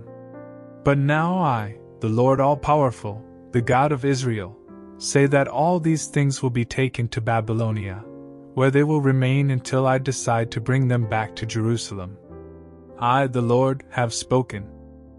Later that same year, in the fifth month of the fourth year that Zedekiah was king, the prophet Hananiah son of Azur from Gibeon came up to me in the temple. And while the priests and others in the temple were listening, he told me that the Lord had said, I am the Lord all powerful, the God of Israel, and I will smash the yoke that Nebuchadnezzar put on the necks of the nations to make them his slaves. And within two years I will bring back to Jerusalem everything that he took from my temple and carried off to Babylonia. King Jehoiachin and the other people who were taken from Judah to Babylonia will be allowed to come back here as well. All this will happen because I will smash the power of the king of Babylonia. The priests and the others were still standing there, so I said, Hananiah, I hope the Lord will do exactly what you said. I hope he does bring back everything the Babylonians took from the temple, and that our people who were taken to Babylonia will be allowed to return home. But let me remind you and everyone else that long before we were born, prophets were saying powerful kingdoms would be struck by war, disaster, and disease. Now you are saying we will have peace. We will just have to wait and see if that is really what the Lord has said. Hananiah grabbed the wooden yoke from my neck and smashed it. Then he said, The Lord says this is the way he will smash the power Nebuchadnezzar has over the nations, and it will happen in less than two years. I left the temple, and a little while later the Lord told me to go back and say to Hananiah, I am the Lord all powerful, the God of Israel. You smashed a wooden yoke, but I will replace it with one made of iron. I will put iron yokes on all the nations, and they will have to do what King Nebuchadnezzar commands. I will even let him rule the wild animals. Hananiah, I have never sent you to speak for me.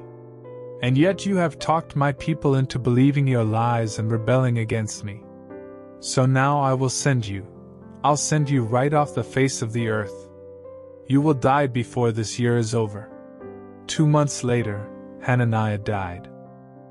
I had been left in Jerusalem when King Nebuchadnezzar took many of the people of Jerusalem and Judah to Babylonia as prisoners, including King Jehoiachin, his mother, his officials, and the metal workers and others in Jerusalem who were skilled in making things.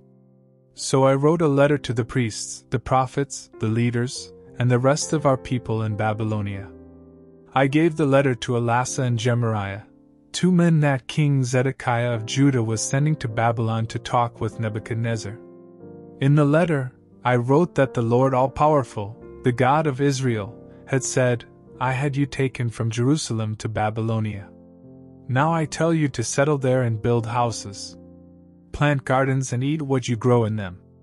Get married and have children, then help your sons find wives and help your daughters find husbands, so they can have children as well. I want your numbers to grow, not to get smaller. Pray for peace in Babylonia and work hard to make it prosperous. The more successful that nation is, the better off you will be. Some of your people there in Babylonia are fortune tellers, and you have asked them to tell you what will happen in the future. But they will only lead you astray with their dreams. And don't let the prophets fool you either. They speak in my name, but they are liars. I have not spoken to them. After Babylonia has been the strongest nation for years, I will be kind and bring you back to Jerusalem, just as I have promised. I will bless you with a future filled with hope, a future of success, not of suffering. You will turn back to me and ask for help, and I will answer your prayers.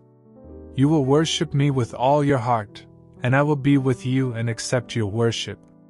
Then I will gather you from all the nations where I scattered you, and you will return to Jerusalem. You feel secure, because you think I have sent prophets to speak for me in Babylonia. But I have been sending prophets to the people of Judah for a long time, and the king from David's family, and the people who are left in Jerusalem and Judah still don't obey me. So I, the Lord All Powerful, will keep attacking them with war and hunger and disease, until they are as useless as rotten figs, I will force them to leave the land, and all nations will be disgusted and shocked at what happens to them. The nations will sneer and make fun of them and use the names Judah and Jerusalem as curse words. And you have not obeyed me, even though I had you taken from Jerusalem to Babylonia. But you had better listen to me now.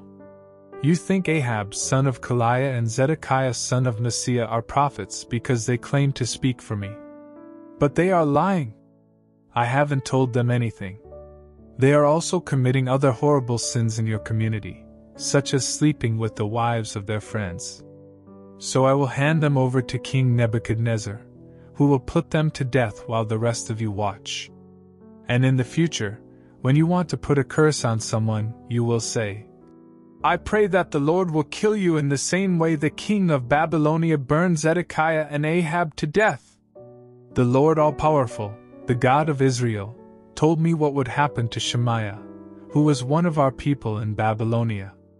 After my letter reached Babylonia, Shemaiah wrote letters to the people of Jerusalem, including the priest Zephaniah son of Maaseiah, and the other priests.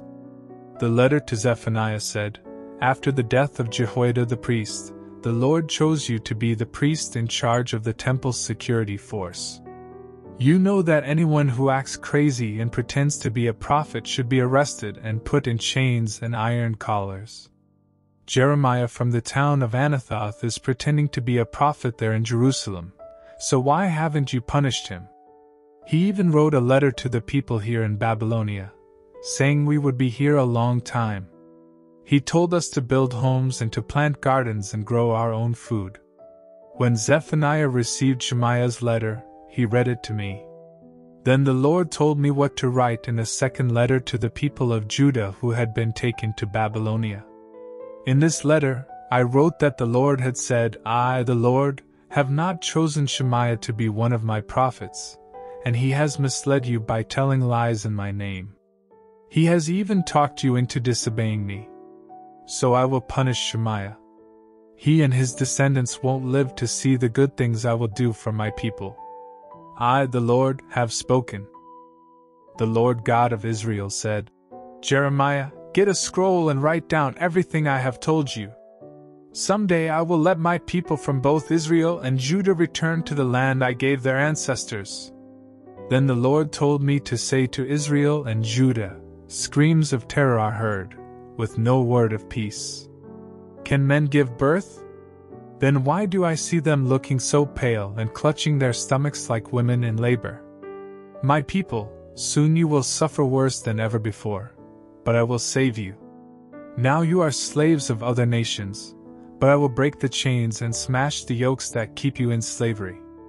Then you will be my servants, and I will choose a king for you from the family of David. Asterisk Israel, you belong to me, so don't be afraid. You deserve to be punished. That's why I scattered you in distant nations. But I am with you, and someday I will destroy those nations. Then I will bring you and your descendants back to your land, where I will protect you and give you peace. Then your fears will be gone. I, the Lord, have spoken. The Lord said, My people, you are wounded and near death. You are accused of a crime with no one to defend you and you are covered with sores that no medicine can cure. Asterisk your friends have forgotten you, they don't care anymore. Even I have acted like an enemy. And because your sins are horrible and countless, I will be cruel as I punish you. So don't bother to cry out for relief from your pain. But if your enemies try to rob or destroy you, I will rob and destroy them, and they will be led as captives to foreign lands. No one wants you as a friend or cares what happens to you. But I will heal your injuries, and you will get well. The Lord said, Israel, I will be kind to you and let you come home. Jerusalem now lies in ruins, but you will rebuild it, complete with a new palace. Other nations will respect and honor you. Your homes will be filled with children, and you will celebrate, singing praises to me. It will be just like old times. Your nation will worship me, and I will punish anyone who abuses you. One of your own people will become your ruler. And when I invite him to come near me at the place of worship, he will do so. No one would dare to come near without being invited. You will be my people, and I will be your God. I, the Lord, have spoken. I am furious, and like a violent storm I will strike those who do wrong. I won't calm down until I have finished what I have decided to do. Someday, you will understand what I mean. The Lord said, Israel, I promise that someday all your tribes will again be my people, and I will be your God. In the desert I was kind to those who escaped death. I gave them peace, and when the time is right, I'll do the same for you. I, the Lord, have spoken. Some time ago, the Lord appeared to me and told me to say, Israel, I will always love you. That's why I've been so patient and kind. You are precious to me, and so I will rebuild your nation. Once again, you will dance for joy and play your tambourines. You will plant vineyards on the hills of Samaria and enjoy the grapes. Someday, those who guard the hill country of Ephraim will shout, Let's go to Zion and worship the Lord our God. The Lord says, Celebrate and sing for Israel, the greatest of nations. Offer praises and shout, Come and rescue your people, Lord. Save what's left of Israel. I, the Lord, will bring my people back from Babylonia and everywhere else on earth. The blind and the lame will be there. Expectant mothers and women about to give birth will come and be part of that great crowd. They will weep and pray as I bring them home. I will lead them to streams of water. They will walk on a level road and not stumble. I am a father to Israel, my favorite children. Listen to me, you nations nearby or across the sea. I scattered the people of Israel, but I will gather them again. I will protect them like a shepherd guarding a flock. I will rescue them from enemies who could overpower them. My people will come to Mount Zion and celebrate. Their faces will glow because of my blessings.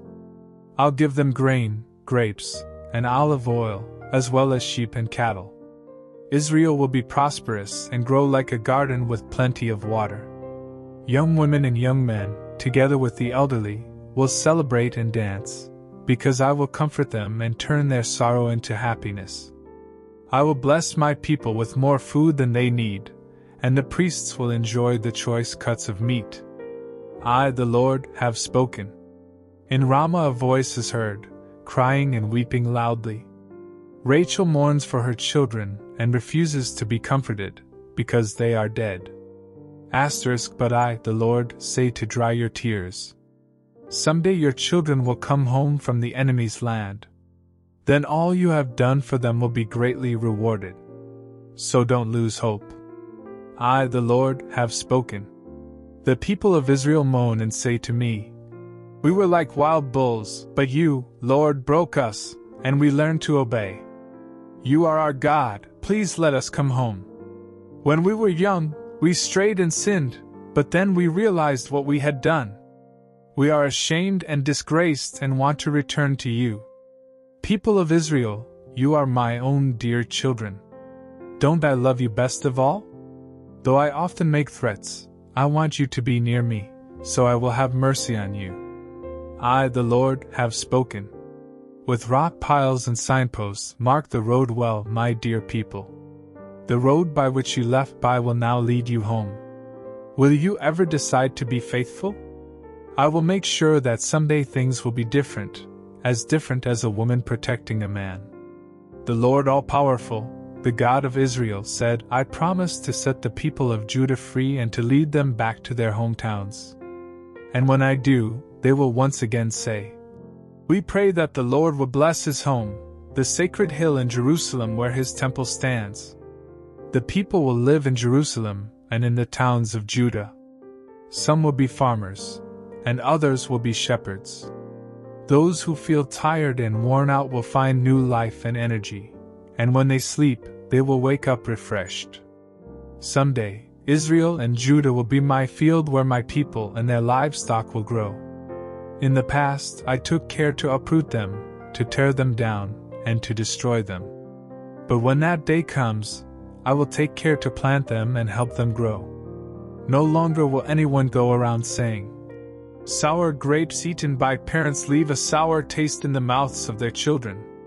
When that day comes, only those who eat sour grapes will get the sour taste, and only those whose sin will be put to death. The Lord said, The time will surely come when I will make a new agreement with the people of Israel and Judah. It will be different from the agreement I made with their ancestors when I led them out of Egypt. Although I was their God, they broke that agreement. Here is the new agreement that I, the Lord, will make with the people of Israel. I will write my laws on their hearts and minds. I will be their God, and they will be my people. No longer will they have to teach one another to obey me. I, the Lord, promise that all of them will obey me, ordinary people and rulers alike. I will forgive their sins and forget the evil things they have done. I am the Lord all powerful.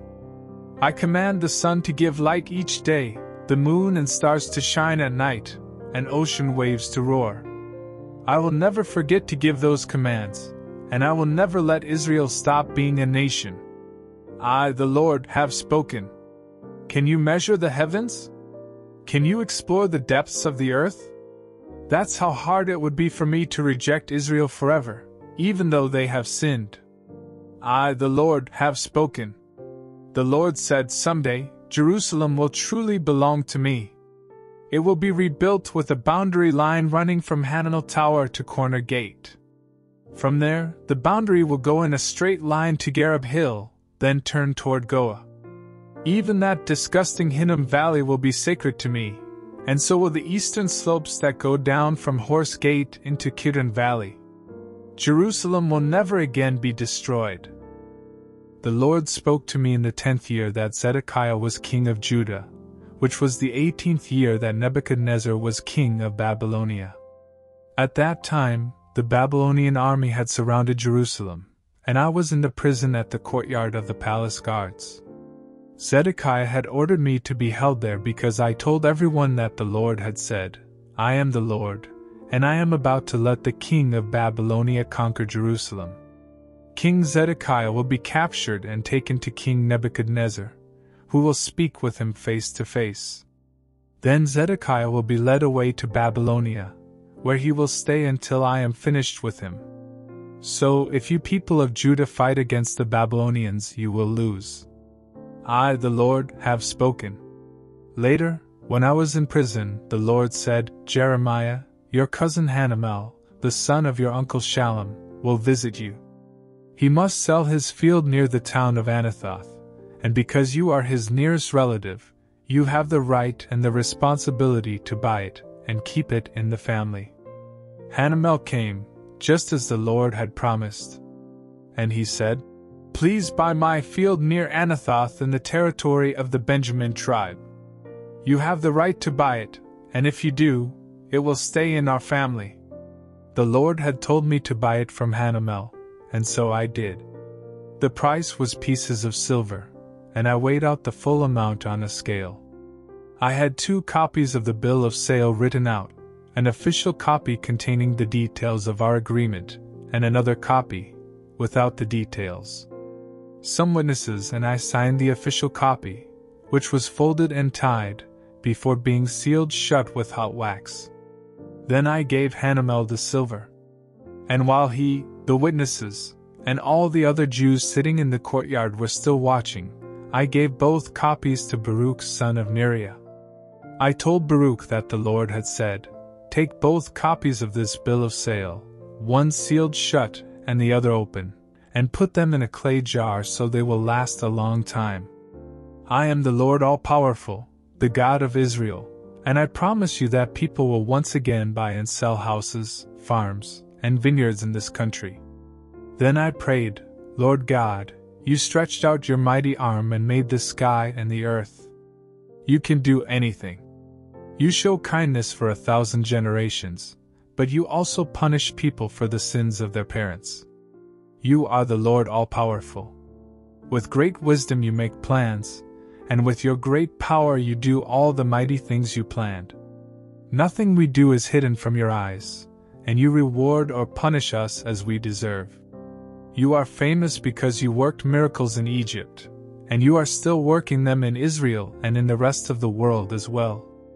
You terrified the Egyptians with your miracles, and you reached out your mighty arm and rescued your people Israel from Egypt. Then you gave Israel this land rich with milk and honey, just as you had promised our ancestors. But when our ancestors took over the land, they did not obey you. And now you have punished Israel with disaster. Jerusalem is under attack, and we suffer from hunger and disease. The Babylonians have already built dirt ramps up to the walls of our city, and you can see that Jerusalem will be captured just as you said. So why did you tell me to get some witnesses and buy a field with my silver, when Jerusalem is about to be captured by the Babylonians? The Lord explained, Jeremiah, I am the Lord God. I rule the world, and I can do anything. It is true that I am going to let King Nebuchadnezzar of Babylonia capture Jerusalem. The Babylonian army is already attacking, and they will capture the city and set it on fire. The people of Jerusalem have made me angry by going up to the flat roofs of their houses and burning incense to Baal and offering wine sacrifices to other gods. Now these houses will be burned to the ground. The kings and the officials, the priests and the prophets, and everyone else in Israel and Judah have turned from me and made me angry by worshipping idols. Again and again I have tried to teach my people to obey me, but they refuse to be corrected. I am going to get rid of Jerusalem, because its people have done nothing but evil. They have set up repulsive idols in my temple, and now it is in the fit place to worship me. And they led Judah into sin by building places to worship Baal in Hinnom Valley, where they also sacrificed their sons and daughters to the god Molech. I have never even imagined they would commit such disgusting sins. Jeremiah, what you said is true. The people of Jerusalem are suffering from hunger and disease, and so the king of Babylonia will be able to capture Jerusalem. I am angry with the people of Jerusalem, and I will scatter them in foreign countries. But someday I will bring them back here and let them live in safety. They will be my people, and I will be their God. I will make their thoughts and desires pure. Then they will realize that, for their own good and the good of their children, they must worship only me. They will even be afraid to turn away from me. I will make an agreement with them that will never end, and I won't ever stop doing good things for them. With all my heart, I promise that they will be planted in this land once again. Even though I have brought disaster on the people, I will someday do all these good things for them. Jeremiah, when you bought the field, you showed that fields will someday be bought and sold again. You say that this land has been conquered by the Babylonians and has become a desert, emptied of people and animals. But someday, people will again spend their silver to buy fields everywhere, in the territory of Benjamin, the region around Jerusalem, and the towns of Judah and in the hill country, the foothills to the west, and the southern desert. Buyers and sellers and witnesses will sign and seal the bills of sale for the fields. It will happen, because I will give this land back to my people.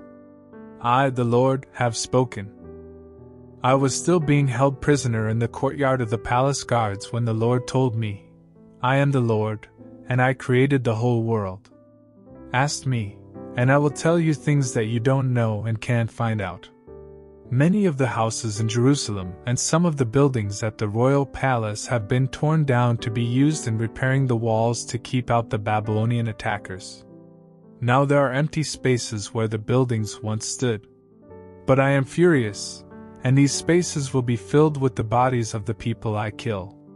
The people of Jerusalem will cry out to me for help, but they are evil and I will ignore their prayers. Then someday, I will heal this place and my people as well, and let them enjoy unending peace. I will give this land to Israel and Judah once again, and I will make them as strong as they were before. They sinned and rebelled against me, but I will forgive them and take away their guilt. When that happens, all nations on earth will see the good things I have done for Jerusalem, and how I have given it complete peace. The nations will celebrate and praise and honor me, but they will also tremble with fear because of the powerful things I have done. Jeremiah, you say that this land is a desert without people or animals, and for now you are right. The towns of Judah and the streets of Jerusalem are deserted, and people and animals are nowhere to be seen. But someday you will hear happy voices and the sounds of parties and wedding celebrations. And when people come to my temple to offer sacrifices to thank me, you will hear them say, We praise you, Lord All Powerful! You are good to us, and your love never fails. The land will once again be productive. Now it is empty, without people or animals. But when that time comes, shepherds will take care of their flocks and pastures near every town in the hill country, in the foothills to the west, in the southern desert, in the land of the Benjamin tribe, and around Jerusalem and the towns of Judah. I, the Lord, have spoken. The Lord said, I made a wonderful promise to Israel and Judah, and the days are coming when I will keep it. I promise that the time will come when I will appoint a king from the family of David a king who will be honest and rule with justice. In those days, Judah will be safe, Jerusalem will have peace and will be named. The Lord gives justice. The king of Israel will be one of David's descendants, and there will always be priests from the Levi tribe serving at my altar and offering sacrifices to please me and to give thanks. Then the Lord told me, I, the Lord, have an agreement with day and night so they always come at the right time. You can't break the agreement I made with them, and you can't break the agreements I have made with David's family and with the priests from the Levi tribe who serve at my altar. A descendant of David will always rule as king of Israel, and there will be more descendants of David and of the priests from the Levi tribe than stars in the sky or grains of sand on the beach. The Lord also said, You've heard foreigners insult my people by saying, the Lord chose Israel and Judah, but now he has rejected them, and they are no longer a nation. Jeremiah, I will never break my agreement with the day and the night or let the sky and the earth stop obeying my commands. In the same way, I will never reject the descendants of Abraham, Isaac, and Jacob or break my promise that they will always have a descendant of David as their king. I will be kind to my people Israel and they will be successful again. King Nebuchadnezzar had a large army made up of people from every kingdom in his empire. He and his army were attacking Jerusalem and all the nearby towns, when the Lord told me to say to King Zedekiah, I am the Lord, and I am going to let Nebuchadnezzar capture this city and burn it down. You will be taken prisoner and brought to Nebuchadnezzar, and he will speak with you face to face. Then you will be led away to Babylonia. Zedekiah, I promise that you won't die in battle. You will die a peaceful death. People will mourn when you die, and they will light bonfires in your honor, just as they did for your ancestors, the kings who ruled before you. I went to Zedekiah and told him what the Lord had said. Meanwhile, the king of Babylonia was trying to break through the walls of Lachish, Azekah, and Jerusalem, the only three towns of Judah that had not been captured. King Zedekiah, his officials, and everyone else in Jerusalem made an agreement to free all Hebrew men and women who were slaves. No Jew would keep another as a slave. And so, all the Jewish slaves were given their freedom. But those slave owners changed their minds and forced their former slaves back into slavery. That's when the Lord told me to say to the people, I am the Lord God of Israel, and I made an agreement with your ancestors when I brought them out of Egypt, where they had been slaves. As part of this agreement, you must let a Hebrew slave go free after six years of service. Your ancestors did not obey me, but you decided to obey me and do the right thing by setting your Hebrew slaves completely free. You even went to my temple, and in my name you made an agreement to set them free. But you have abused my name, because you broke that agreement and forced your former slaves back into slavery. You have disobeyed me by not giving your slaves their freedom. So I will give you freedom, the freedom to die in battle or from disease or hunger. I will make you disgusting to all other nations on earth. You asked me to be a witness when you made the agreement to set your slaves free and as part of the ceremony you cut a calf into two parts, then walked between the parts. But you people of Jerusalem have broken that agreement, as well as my agreement with Israel. So I will do to you what you did to that calf. I will let your enemies take all of you prisoner, including the leaders of Judah and Jerusalem, the royal officials, the priests, and everyone else who walked between the two parts of the calf. These enemies will kill you and leave your bodies lying on the ground as food for birds and wild animals. These enemies are King Nebuchadnezzar of Babylonia and his army. They have stopped attacking Jerusalem, but they want to kill King Zedekiah and his high officials. So I will command them to return and attack again. This time they will conquer the city and burn it down, and they will capture Zedekiah and his officials. I will also let them destroy the towns of Judah, so that no one can live there any longer. When Jehoiakim was king of Judah, the Lord told me, Go to the Rechabite clan and invite them to meet you in one of the side rooms of the temple. When they arrive, offer them a drink of wine. So I went to Jaazaniah, the leader of the clan, and I invited him and all the men of his clan. I brought them into the temple courtyard and took them upstairs to a room belonging to the prophets, who were followers of Hanan son of Igdaliah. It was next to a room belonging to some of the officials, and that room was over the one belonging to Maaseiah, a priest who was one of the high officials in the temple. I set out some large bowls full of wine together with some cups, and then I said to the Rechabites, Have some wine! But they answered, No. The ancestor of our clan, Jonadab son of Rechab, made a rule that we must obey. He said, Don't ever drink wine or build houses or plant crops and vineyards. Instead, you must always live in tents and move from place to place. If you obey this command, you will live a long time. Our clan has always obeyed Jonadab's command. To this very day, we and our wives and sons and daughters don't drink wine or build houses or plant vineyards or crops. And we have lived in tents, except now we have to live inside Jerusalem because Nebuchadnezzar has taken over the countryside with his army from Babylonia and Syria. Then the Lord told me to say to the people of Judah and Jerusalem, I, the Lord All Powerful, the God of Israel, want you to learn a lesson from the Rechabite clan. Their ancestor Jonadab told his descendants never to drink wine, and to this very day they have obeyed him. But I have spoken to you over and over, and you haven't obeyed me. You refused to listen to my prophets, who kept telling you, Stop doing evil and worshipping other gods. Start obeying the Lord, and He will let you live in this land He gave your ancestors. The Rechabites have obeyed the command of their ancestor Jonadab, but you have not obeyed me, your God. I am the Lord All Powerful and I warned you about the terrible things that would happen to you if you did not listen to me. But you have ignored me, so now disaster will strike you. I, the Lord, have spoken. Then the Lord told me to say to the Rechabite clan, I am the Lord All Powerful, the God of Israel. You have obeyed your ancestor Jonadab, so I promise that your clan will be my servants and will never die out. During the fourth year that Jehoiakim son of Josiah was king of Judah, the Lord said to me, Jeremiah, since the time Josiah was king, I have been speaking to you about Israel, Judah, and the other nations. Now get a scroll and write down everything I have told you, then read it to the people of Judah. Maybe they will stop sinning when they hear what terrible things I plan for them.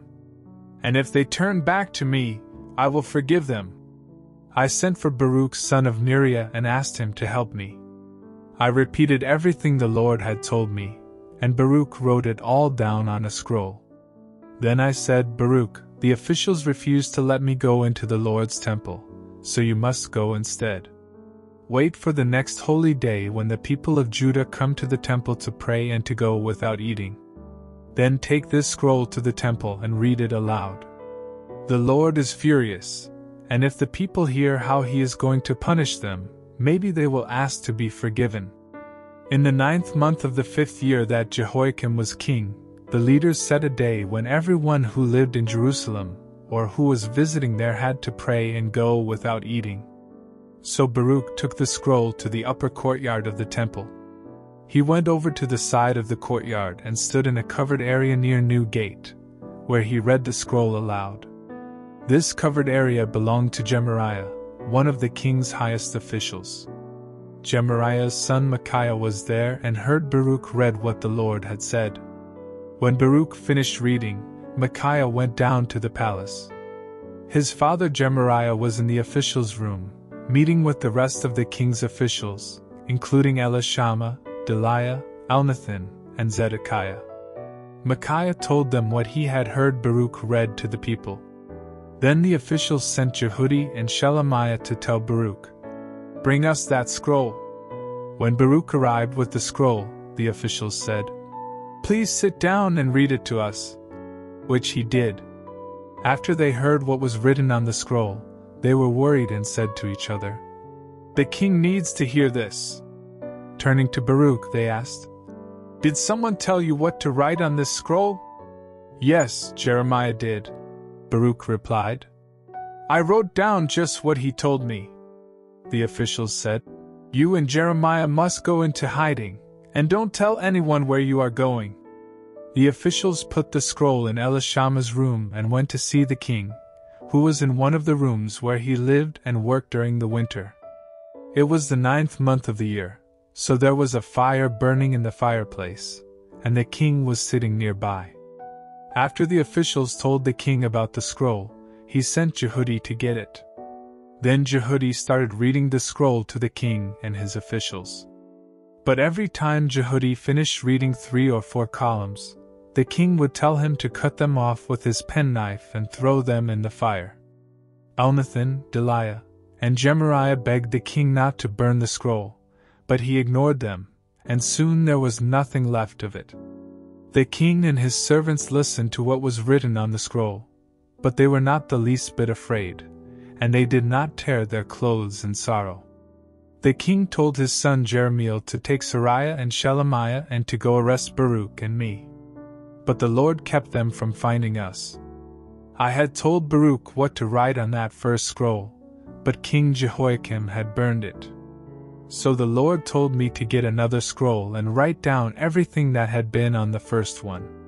Then he told me to say to King Jehoiakim, Not only did you burn Jeremiah's scroll, you had the nerve to ask why he had written that the king of Babylonia would attack and ruin the land, killing all the people and even the animals. So I, the Lord, promise that you will be killed and your body thrown out on the ground. The sun will beat down on it during the day, and the frost will settle on it at night. And none of your descendants will ever be king of Judah. You, your children, and your servants are evil, and I will punish every one of you. I warned you and the people of Judah and Jerusalem that I would bring disaster, but none of you have listened. So now you are doomed. After the Lord finished speaking to me, I got another scroll and gave it to Baruch. Then I told him what to write, so this second scroll would contain even more than was on the scroll Jehoiakim had burned. King Nebuchadnezzar of Babylonia had removed Jehoiachin son of Jehoiakim from being the king of Judah and had made Josiah's son Zedekiah king instead. But Zedekiah, his officials, and everyone else in Judah ignored everything the Lord had told me. Later, the Babylonian army attacked Jerusalem, but they left after learning that the Egyptian army was headed in this direction. One day, Zedekiah sent Jehucal and the priest Zephaniah to talk with me. At that time, I was free to go wherever I wanted, because I had not yet been put in prison. Jehucal and Zephaniah said, Jeremiah, please pray to the Lord our God for us. Then the Lord told me to send them back to Zedekiah with this message Zedekiah, you wanted Jeremiah to ask me, the Lord God of Israel, what is going to happen. So I will tell you.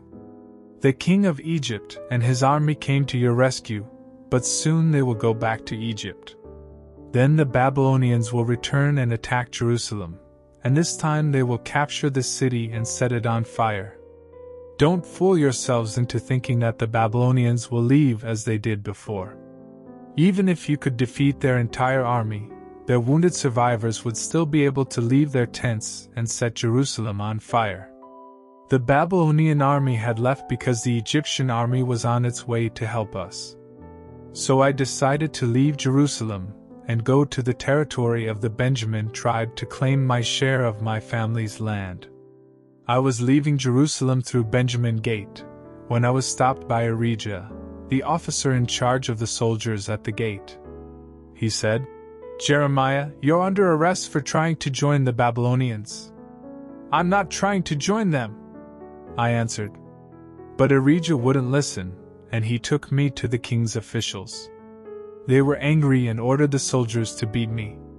Then I was taken to the house that belonged to Jonathan, one of the king's officials. It had been turned into a prison, and I was kept in a basement room. After I had spent a long time there, King Zedekiah secretly had me brought to his palace, where he asked, Is there any message for us from the Lord? Yes, there is, Your Majesty, I replied. The Lord is going to let the king of Babylonia capture you. Then I continued, Your Majesty, why have you put me in prison? Have I committed a crime against you or your officials or the nation? Have you locked up the prophets who lied to you and said that the king of Babylonia would never attack Jerusalem? Please don't send me back to that prison at Jonathan's house. If you do, I will die there. King Zedekiah had me taken to the prison cells in the courtyard of the palace guards. He told the soldiers to give me a loaf of bread from one of the bakeries every day until the city ran out of grain. One day, Shephatiah, Gedaliah, Jehucal, and Pashur heard me tell the people of Judah that the Lord had said, If you stay here in Jerusalem, you will die in battle or from disease or hunger, and the Babylonian army will capture the city anyway. But if you surrender to the Babylonians, they will let you live. So the four of them went to the king and said, You should put Jeremiah to death, because he is making the soldiers and everyone else lose hope. He isn't trying to help our people, He's trying to harm them. Zedekiah replied, Do what you want with him. I can't stop you. Then they took me back to the courtyard of the palace guards and let me down with ropes into the well that belonged to Malchiah, the king's son. There was no water in the well, but I sank down in the mud. Ebedmelech from Ethiopia was an official at the palace, and he heard what they had done to me. So he went to speak with King Zedekiah who was holding court at Benjamin Gate. Ebedmelech said, Your Majesty, Jeremiah is a prophet, and those men were wrong to throw him into a well. And when Jerusalem runs out of food, Jeremiah will starve to death down there. Zedekiah answered, Take of my soldiers and pull Jeremiah out before he dies. Ebedmelech and the soldiers went to the palace and got some rags from the room under the treasury. He used ropes to lower them into the well. Then he said, Put these rags under your arms so the ropes won't hurt you. After I did, the men pulled me out. And from then on, I was kept in the courtyard of the palace guards. King Zedekiah had me brought to his private entrance to the temple, and he said, I'm going to ask you something, and I want to know the truth. Why? I replied. You won't listen, and you might even have me killed. He said, I swear in the name of the living Lord our Creator that I won't have you killed. No one else can hear what we say, and I won't let anyone kill you. Then I told him that the Lord had said, Zedekiah, I am the Lord God all powerful, the God of Israel. I promise that if you surrender to King Nebuchadnezzar's officers, you and your family won't be killed, and Jerusalem won't be burned down. But if you don't surrender, I will let the Babylonian army capture Jerusalem and burn it down, and you will be taken prisoner. Zedekiah answered, I can't surrender to the Babylonians. I'm too afraid of the people of Judah who have already joined them. The Babylonians might hand me over to them, and they would torture me. I said, If you will just obey the Lord, the Babylonians won't hand you over to those Jews. You will be allowed to live, and all will go well for you. But the Lord has shown me that if you refuse to obey, then the women of your palace will be taken prisoner by Nebuchadnezzar's officials. And those women will say to you, Friends you trusted led you astray. Now you're trapped in mud, and those friends you trusted have all turned away. The Babylonian army will take your wives and children captive, you will be taken as a prisoner to the king of Babylonia and Jerusalem will be burned down. Zedekiah said. Jeremiah, if you tell anyone what we have talked about, you might lose your life. And I'm sure that if my officials hear about our meeting, they will ask you what we said to each other. They might even threaten to kill you if you don't tell them.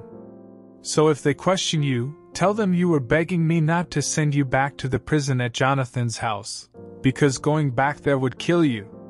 The officials did come and question me about my meeting with the king, and I told them exactly what he had ordered me to say.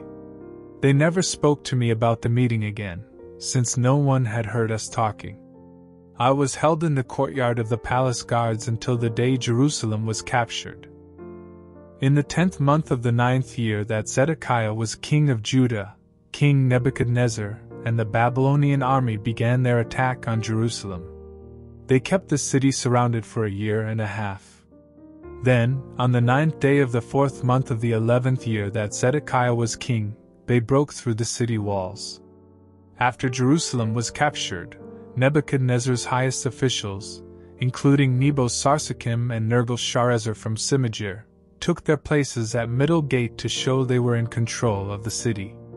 When King Zedekiah and his troops saw that Jerusalem had been captured, they tried to escape from the city that same night.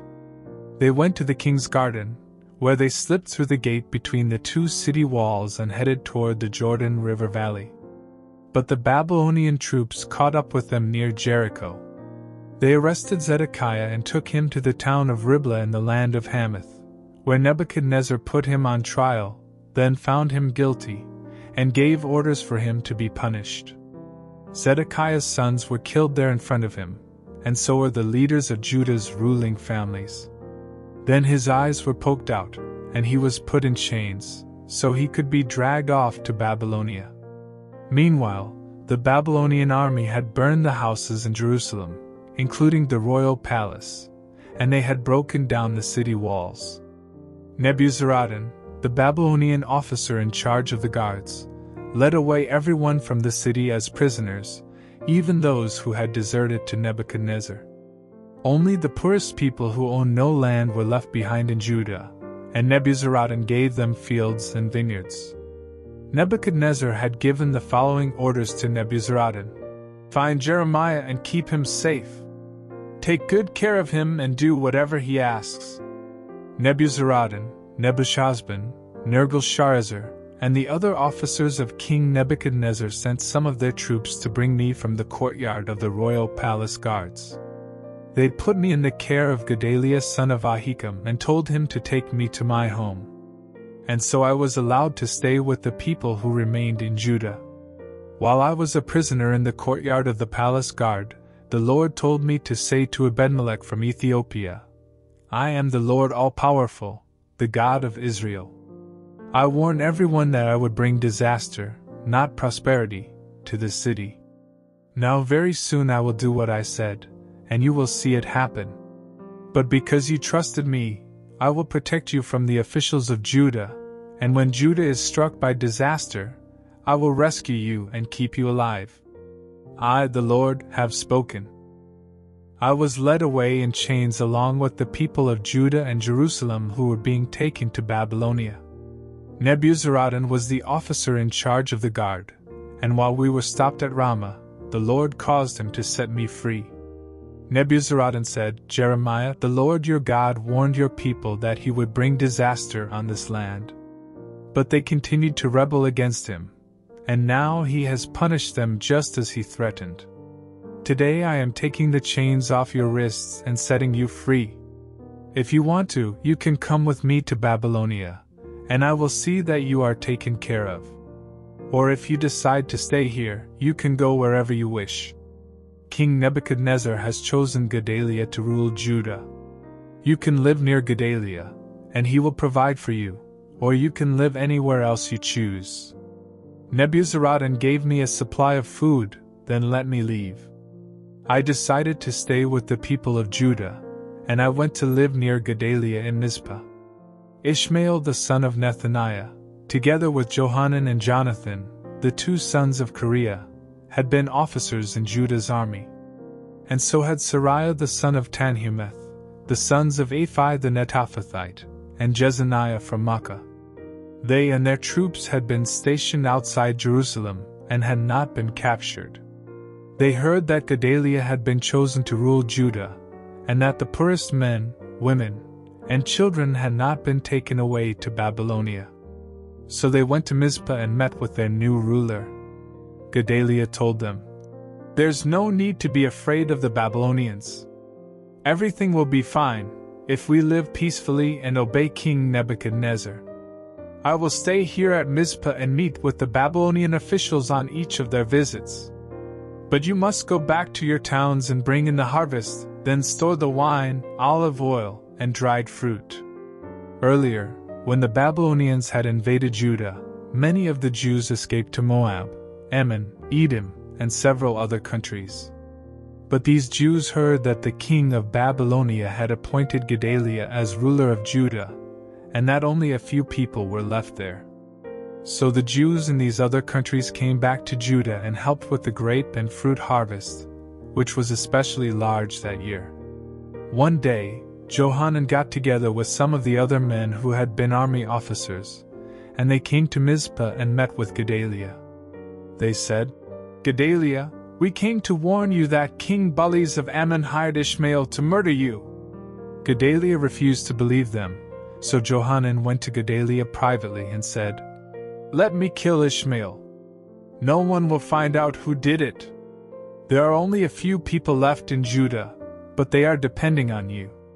And if you are murdered, they will be scattered or killed. Gedaliah answered, Don't kill Ishmael. What you've said about him can't be true. But in the seventh month, Ishmael came to Mizpah with ten of his soldiers. He had been one of the king's officials and was a member of the royal family. Ishmael and his men were invited to eat with Gedaliah. During the meal, Ishmael and his soldiers killed Gedaliah, the man chosen as ruler of Judah by the king of Babylonia. Then they killed the Jews who were with Gedaliah, and they also killed the Babylonian soldiers who were there. The next day, the murders had still not been discovered, when men came down the road toward Mizpah from the towns of Shechem, Shiloh, and Samaria. They were on their way to the temple to offer gifts of grain and incense to the Lord. They had shaved off their beards, torn their clothes, and cut themselves, because they were mourning. Ishmael went out the town gate to meet them. He pretended to be weeping, and he asked them to come into Mizpah to meet with Gedaliah, the ruler of Judah. But after they were inside the town, Ishmael ordered his soldiers to kill them and throw their bodies into a well. He let ten of the men live, because they offered to give him supplies of wheat, barley, olive oil, and honey they had hidden in a field. The well that he filled with bodies had been dug by King Asa of Judah to store rainwater, because he was afraid that King Baasha of Israel might surround Mizpah and keep the people from getting to their water supply. Nebuzaradan, King Nebuchadnezzar's officer in charge of the guard, had left King Zedekiah's daughters and many other people at Mizpah, and he had put Gedaliah in charge of them. But now Ishmael took them all prisoner and led them toward Ammon, on the other side of the Jordan River. Johanan and the other army officers heard what Ishmael had done. So they and their troops chased Ishmael and caught up with him at the large pit at Gibeon.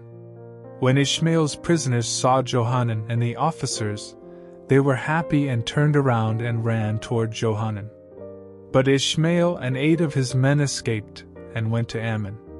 Johanan and the officers had rescued the women, children, and royal officials that Ishmael had taken prisoner after killing Gedaliah. Johanan led the people from Gibeon toward Egypt. They wanted to go there, because they were afraid of what the Babylonians would do when they found out that Ishmael had killed Gedaliah, the ruler appointed by King Nebuchadnezzar. On the way to Egypt, we stopped at the town of Geruth Chimham near Bethlehem. Johanan, Jezaniah, the other army officers, and everyone else in the group came to me and said, Please, Jeremiah, pray to the Lord your God for us. Judah used to have many people, but as you can see, only a few of us are left. Ask the Lord to tell us where He wants us to go and what He wants us to do. All right. I answered. I will pray to the Lord your God, and I will tell you everything he says. They answered, The Lord himself will be our witness that we promise to do whatever he says, even if it isn't what we want to do. We will obey the Lord so that all will go well for us.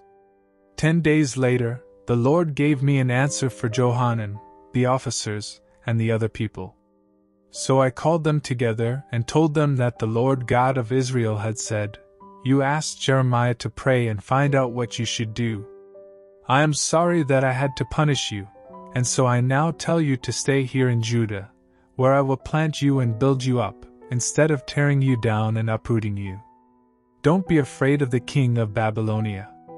I will protect you from him, and I will even force him to have mercy on you and give back your farms. But you might keep on saying, We won't stay here in Judah, and we won't obey the Lord our God. We are going to Egypt, where there is plenty of food and no danger of war. People of Judah, you survived when the Babylonian army attacked. Now you are planning to move to Egypt and if you do go, this is what will happen. You are afraid of war, starvation, and disease here in Judah, but they will follow you to Egypt and kill you there. None of you will survive the disasters I will send. I, the Lord, was angry with the people of Jerusalem and punished them. And if you go to Egypt, I will be angry and punish you the same way. You will never again see your homeland. People will be horrified at what I do to you and they will use the name of your city as a curse word. I told the people, You escaped the disaster that struck Judah, but now the Lord warns you to stay away from Egypt. You asked me to pray and find out what the Lord our God wants you to do, and you promised to obey him. But that was a terrible mistake, because now that I have given you the Lord's answer, you refuse to obey him. And so, you will die in Egypt from war, hunger, and disease. I told the people everything the Lord had told me. But Azariah, Johanan, and some other arrogant men said to me, You're lying! The Lord didn't tell you to say that we shouldn't go to Egypt. Baruch son of Neriah must have told you to say that. He wants the Babylonians to capture us, so they can take us away to Babylonia or even kill us. Johanan, the other army officers, and everyone else refused to stay in Judah in spite of the Lord's command. So Johanan and the officers led us away toward Egypt. The group that left Judah included those who had been scattered in other countries and who had then come back to live in Judah. Baruch and I and others in the group had been staying with Gedaliah, because Nebuzaradan, the Babylonian officer in charge of the guard, had ordered him to take care of the king's daughters and quite a few men, women, and children. The people disobeyed the Lord and went to Egypt. The group had settled in Tahpanhes, when the Lord told me, Jeremiah, carry some large stones to the entrance of the government building in Tahpanhes. Bury the stones underneath the brick pavement, and be sure the Jews are watching. Then tell them that I, the Lord All Powerful, the God of Israel, have sent for my servant, Nebuchadnezzar of Babylonia. I will bring him here and have him set up his throne and his royal tent over these stones that I told you to bury. He will attack Egypt and kill many of its people. Others will die of disease or be dragged away as prisoners. I will let him set Egypt's temples on fire, and he will either burn or carry off their idols. He will destroy the sacred monuments at the temple of the sun god. Then Nebuchadnezzar will pick the land clean, just like a shepherd picking the lice off his clothes. And he will return safely home. The Lord told me to speak with the Jews who were living in the towns of Migdol, Tahpanhes, and Memphis in northern Egypt, and also to those living in southern Egypt. He told me to tell them, I am the Lord All Powerful, the God of Israel. You saw how I destroyed Jerusalem and the towns of Judah they lie empty and in ruins today, because the people of Judah made me angry by worshipping gods that had never helped them or their ancestors. Time after time I sent my servants the prophets to tell the people of Judah how much I hated their disgusting sins. The prophets warned them to stop sinning, but they refused to listen and would not stop worshipping other gods. Finally, my anger struck like a raging flood, and today Jerusalem and the towns of Judah are nothing but empty ruins. Why do you now insist on heading for another disaster? A disaster that will destroy not only you, but also your children and babies. You have made me angry by worshipping idols and burning incense to other gods after you came here to Egypt. You will die such a disgusting death that other nations will use the name of Judah as a curse word. When you were living in Jerusalem and Judah, you followed the example of your ancestors in doing evil things, just like your kings and queens. Even now, your pride keeps you from respecting me and obeying the laws and teachings I gave you and your ancestors. I, the Lord All Powerful, have decided to wipe you out with disasters. There were only a few of you left in Judah, and you decided to go to Egypt. But you will die such horrible deaths in war or from starvation, that people of other countries will use the name of Judah as a curse word. I punish Jerusalem with war, hunger, and disease, and that's how I will punish you. None of you will survive. You may hope to return to Judah someday, but only a very few of you will escape death and be able to go back. A large number of Jews from both northern and southern Egypt listened to me as I told them what the Lord had said. Most of the men in the crowd knew that their wives often burned incense to other gods. So they and their wives shouted, Jeremiah, what do we care if you speak in the Lord's name? We refuse to listen. We have promised to worship the goddess Astarte, the Queen of Heaven, and that is exactly what we are going to do. We will burn incense and offer sacrifices of wine to her, just as we, our ancestors, our kings, and our leaders did when we lived in Jerusalem and the other towns of Judah. We had plenty of food back then. We were well off, and nothing bad ever happened to us. But since the time we stopped burning incense and offering wine sacrifices to her, we have been dying from war and hunger. Then the women said, When we lived in Judah, we worshipped the Queen of Heaven and offered sacrifices of wine and special loaves of bread shaped like her. Our husbands knew what we were doing, and they approved of it. Then I told the crowd, Don't you think the Lord knew that you and your ancestors, your leaders and kings, and the rest of the people were burning incense to other gods in Jerusalem and everywhere else in Judah? And when he could no longer put up with your disgusting sins, he placed a curse on your land and turned it into a desert, as it is today. This disaster happened because you worshipped other gods and rebelled against the Lord by refusing to obey him or follow his laws and teachings. Then I told the men and their wives that the Lord All Powerful, the God of Israel, had said, Here in Egypt you still keep your promises to burn incense and offer sacrifices of wine to the so called Queen of Heaven. Keep these promises. But let me tell you what will happen. As surely as I am the Lord God, I swear that I will never again accept any promises you make in my name. Instead of watching over you, I will watch for chances to harm you. Some of you will die in war, and others will starve to death. Only a few will escape and return to Judah. Then everyone who went to live in Egypt will know that when I say something will happen, it will, no matter what you say. And here is how you will know that I will keep my threats to punish you in Egypt. I will hand over King Hophra of Egypt to those who want to kill him, just as I handed Zedekiah over to Nebuchadnezzar, who wanted to kill him. In the fourth year that Jehoiakim was king of Judah, Baruch wrote down everything I had told him. Then later, the Lord God of Israel told me to say to Baruch, You are moaning and blaming me, the Lord, for your troubles and sorrow, and for being so tired that you can't even rest.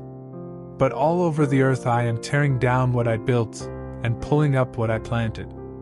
I am bringing disaster everywhere, so don't even think about making any big plans for yourself. However, I promise that wherever you go, I will at least protect you from death. I, the Lord, have spoken. The Lord often told me what to say about the different nations of the world. In the fourth year that Jehoiakim was king of Judah, King Nebuchadnezzar of Babylonia defeated King Necho of Egypt in a battle at the city of Carchemish near the Euphrates River. And here is what the Lord told me to say about the Egyptian army It's time to go into battle. So grab your shields, saddle your horses, and polish your spears. Put on your helmets and armor, then take your positions. I can see the battle now. You are defeated and running away, never once looking back. Terror is all around. You are strong and run fast, but you can't escape.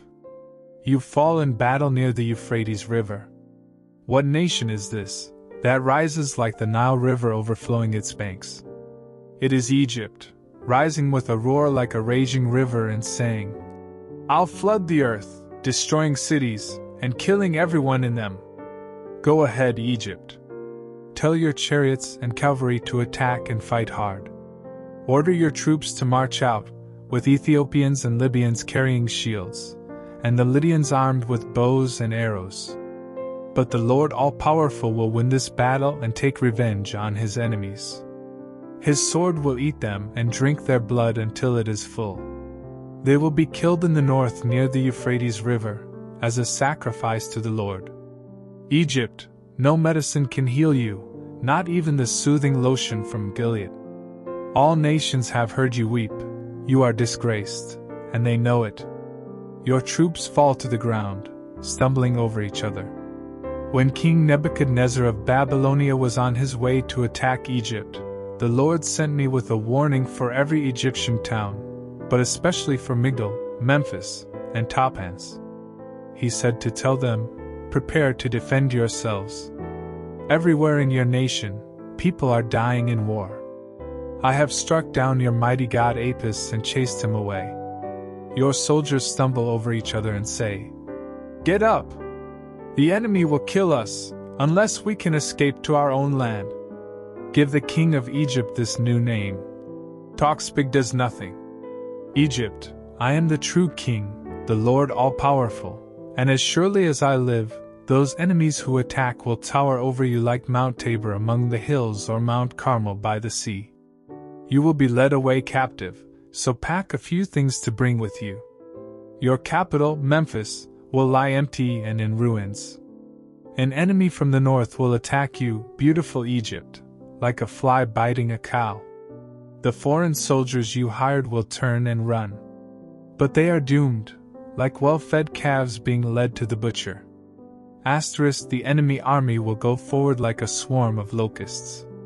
Your troops will feel helpless, like a snake in a forest when men with axes start chopping down trees. It can only hiss and try to escape. Your people will be disgraced and captured by the enemy from the north. I am the Lord All Powerful, the God of Israel. Soon I will punish the god Amon of Thebes and the other Egyptian gods, the Egyptian kings, the people of Egypt, and everyone who trusts in the Egyptian power. I will hand them over to King Nebuchadnezzar and his army. But I also promise that Egypt will someday have people living here again, just as it had before. I, the Lord, have spoken. The Lord said, Israel, don't be afraid. Someday I will bring you home from foreign lands. You and your descendants will live in peace and safety, with nothing to fear. So don't be afraid, even though now you deserve to be punished and have been scattered among other nations. But when I destroy them, I will protect you. I, the Lord, have spoken. Before the king of Egypt attacked the town of Gaza, the Lord told me to say to the Philistines, I, the Lord, tell you that your land will be flooded with an army from the north. It will destroy your towns and sweep you away, moaning and screaming. When you hear the thunder of horses and chariots, your courage will vanish, and parents will even abandon their own children. You refugees from Crete, your time has now come, and I will destroy you. None of you will be left to help the cities of Tyre and Sidon. The Anakim who survive in Gaza and Ashkelon will mourn for you by shaving their heads and sitting in silence. You asked how long will I continue to attack you with my sword, then you tell me to put it away and leave you alone.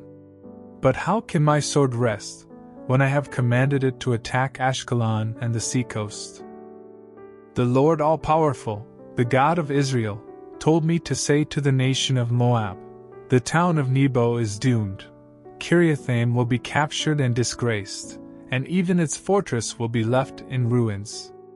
No one honors you, Moab. In Heshbon, enemies make plans to end your life. My sword will leave only silence in your town named Quiet. The people of Horonaim will cry for help, as their town is attacked and destroyed. Moab will be shattered. Your children will sob and cry on their way up to the town of Luhith. On the road to Horonaim, they will tell of disasters. Run for your lives. Head into the desert like a wild donkey. You thought you could be saved by your power and wealth, but you will be captured along with your god Chemosh, his priests, and officials. Not one of your towns will escape destruction. I have told your enemies wipe out the valley and the flatlands of Moab. Spread salt on the ground to kill the crops. Leave its towns in ruins, with no one living there. I want you to kill the Moabites, and if you let them escape, I will put a curse on you. Moab, you are like wine left to settle undisturbed, never poured from jar to jar. And so, your nation continues to prosper and improve. But now, I will send enemies to pour out the wine and smash the jars. Then you will be ashamed, because your God Chemosh cannot save you, just as Bethel could not help the Israelites. You claim that your soldiers are strong and brave. But I am the Lord, the all powerful King, and I promise that enemies will overpower your towns. Even your best warriors will die in the battle. It won't be long now. Disaster will hit Moab. I will order the nearby nations to mourn for you and say, Isn't it sad? Moab ruled others, but now its glorious power has been shattered. People in the town of Dibon, you will be honored no more, so have a seat in the dust. Your walls will be torn down when the enemies attack. You people of Aroer, Go wait beside the road, and when refugees run by, ask them, What happened? They will answer, Moab has been defeated. Weep with us in shame. Tell everyone at the Arnon River that Moab is destroyed. I will punish every town that belongs to Moab, but especially Holon, Jahzah, Mephaath, Dibon, Nebo, Beth Diblathaim, Kiriathaim, Beth Gamul, Beth Meon, Kerioth, and Bozrah. My decision is final. Your army will be crushed, and your power broken. People of Moab, you claim to be stronger than I am. Now I will tell other nations to make you drunk and to laugh while you collapse in your own vomit. You made fun of my people and treated them like criminals caught in the act. Now you must leave your towns and live like doves in the shelter of cliffs and canyons. I know about your pride, and how you strut and boast. But I also know bragging will never save you. So I will cry and mourn for Moab and its town of Kiriath-Heres. People of Sibmah, you are like a vineyard heavy with grapes, and with branches reaching north to the town of Jazer and west to the Dead Sea. But you have been destroyed, and so I will weep for you, as the people of Jazer weep for the vineyards. Harvest celebrations are gone from the orchards and farms of Moab. I have silenced the shouts of people making wine. Weeping from Heshbon can be heard as far as Elealeh and Jahaz. Cries from Zoar are heard in Horonaim and Eglath Shelishiyah. And Nimrim Creek has run dry. I will get rid of anyone who burns incense to the gods of Moab, or offers sacrifices at their shrines. I, the Lord, have spoken. In my heart I moan for Moab, like a funeral song played on a flute. I mourn for the people of the town of Kiriath-Heres, because their wealth is gone. Asterisk the people of Moab mourn on the rooftops and in the streets. Men cut off their beards, people shave their heads, they make cuts on their hands and wear sackcloth. And it's all because I, the Lord, have shattered Moab like a jar that no one wants. Moab lies broken.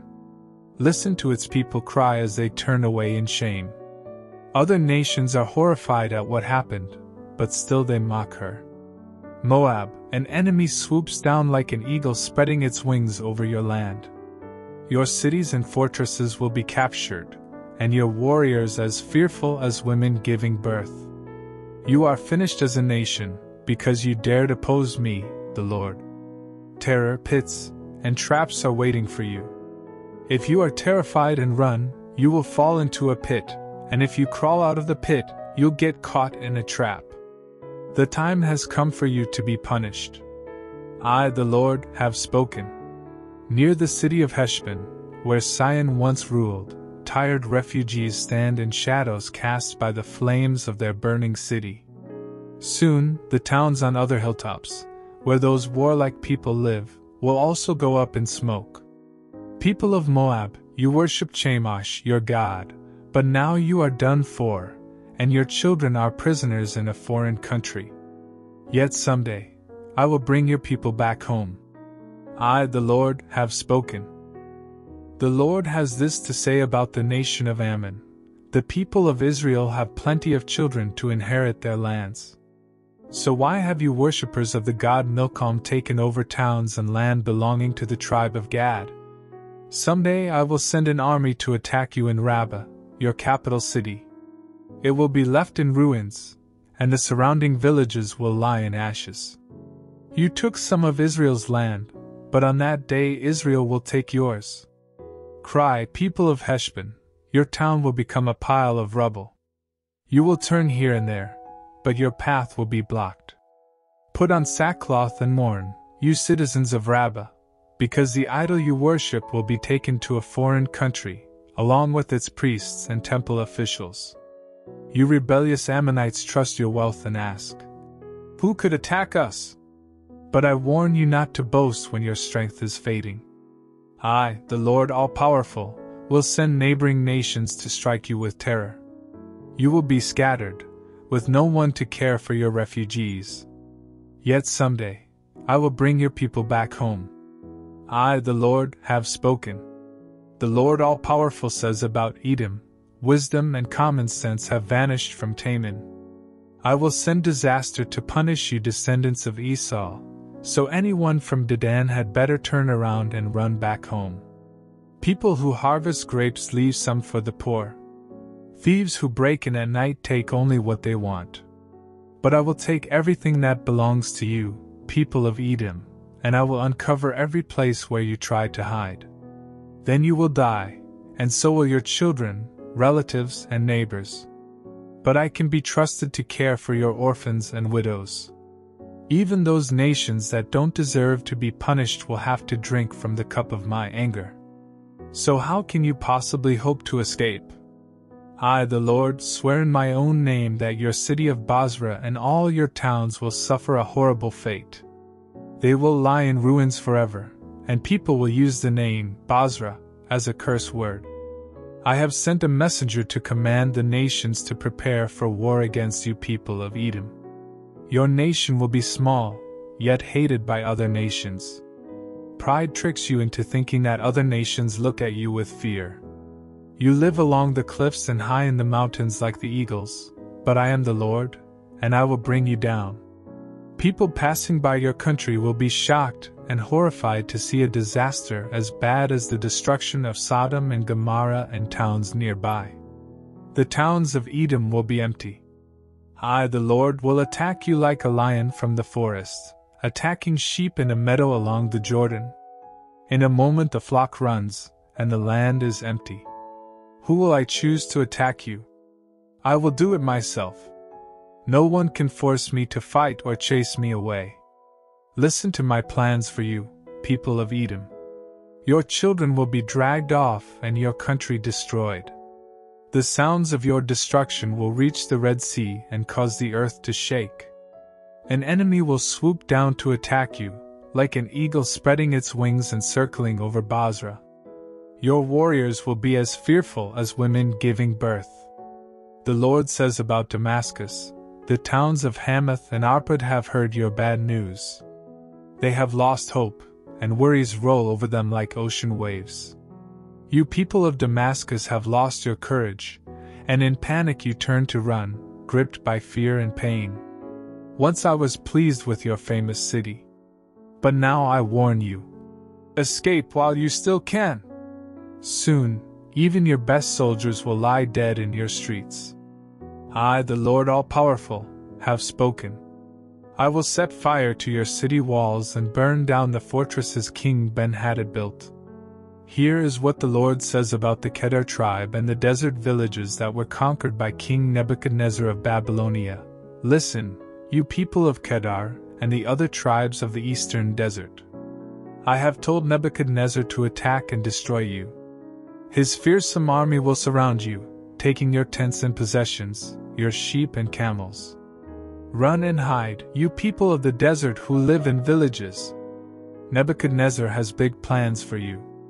You have no city walls and no neighbors to help, yet you think you're safe. So I told him to attack. Then your camels and large herds will be yours no longer. People of the Arabian desert, disaster will strike you from every side, and you will be scattered everywhere on earth. Only jackals will live where your villages once stood. I, the Lord, have spoken. Not long after Zedekiah became king of Judah, the Lord told me to say, People of Elam, I, the Lord all powerful, will kill the archers who make your army strong. Enemies will attack from all directions, and you will be led captive to every nation on earth. Their armies will crush and kill you, and you will face the disaster that my anger brings. Your king and his officials will die, and I will rule in their place. I, the Lord, have spoken. But I promise that someday I will bring your people back to their land. The Lord told me to say, Announce what will happen and don't leave anything out. Raise the signal flags. Shout so all nations can hear. Babylon will be captured. Marduk, Babylon's god, will be ashamed and terrified, and his idols broken. The attack on the Babylonians will come from the north. They and their animals will run, leaving the land empty. The Lord said, People of Israel and Judah, when these things happen, you will weep, and together you will return to your land and worship me, the Lord your God. You will ask the way to Zion, and then come and join with me in making an agreement you won't break or forget. My people, you are lost sheep abandoned in the mountains by their shepherds. You don't even remember your resting place. I am your true pasture land, the one who gave hope to your ancestors. But you abandoned me, so when your enemies found you, they felt no guilt as they gobbled you up. Escape from Babylonia, my people. Get out of that country. Don't wait for anyone else. In the north, I am bringing great nations together. They will attack Babylon and capture it. The arrows they shoot are like the best soldiers, always finding their target. Babylonia will be conquered, and its enemies will carry off everything they want. The Lord said, People of Babylonia, you were glad to rob my people. You had a good time, making more noise than horses and jumping around like calves threshing grain. The city of Babylon was like a mother to you. But it will be disgraced and become nothing but a barren desert. My anger will destroy Babylon, and no one will live there. Everyone who passes by will be shocked to see what has happened. Babylon has rebelled against me. Archers, take your places. Shoot all your arrows at Babylon. Attack from every side. Babylon surrenders. The enemy tears down its walls and towers. I am taking my revenge by doing to Babylon what it did to other cities. There is no one in Babylonia to plant or harvest crops. Even foreigners who lived there have left for their homelands, afraid of the enemy armies. Israel is a flock of sheep scattered by hungry lions. The king of Assyria first gobbled Israel up. Then Nebuchadnezzar, king of Babylonia, crunched on Israel's bones. I, the Lord all powerful, the God of Israel, punish the king of Assyria, and I will also punish the king of Babylonia. But I will bring Israel back to its own land. The people will be like sheep eating their fill on Mount Carmel, and in Bashan, in the hill country of Ephraim, and in Gilead. I will rescue a few people from Israel and Judah. I will forgive them so completely that their sin and guilt will disappear, never to be found. The Lord said, I have told the enemies of Babylonia. Attack the people of Merathaim and Pekod. Kill them all. Destroy their possessions. Sounds of war and the noise of destruction can be heard. Babylonia was a hammer pounding every country, but now it lies broken. What a shock to the nations of the world! Babylonia challenged me, the Lord God all powerful, but that nation doesn't know it is caught in a trap that I set. I've brought out my weapons, and with them I will put a curse on Babylonia. Come from far away, you enemies of Babylon. Pile up the grain from its storehouses, and destroy it completely, along with everything else. Kill the soldiers of Babylonia, because the time has come for them to be punished. The Babylonian army destroyed my temple, but soon I will take revenge. Then refugees from Babylon will tell about it in Zion. Attack Babylon, enemy archers, set up camp around the city, and don't let anyone escape. It challenged me, the holy God, so do to it what it did to other cities. People of Babylon, I, the Lord, promise that even your best soldiers will lie dead in the streets. Babylon, you should be named the proud one. But the time has come when I, the Lord all powerful, will punish you. You are proud, but you will stumble and fall, and no one will help you up.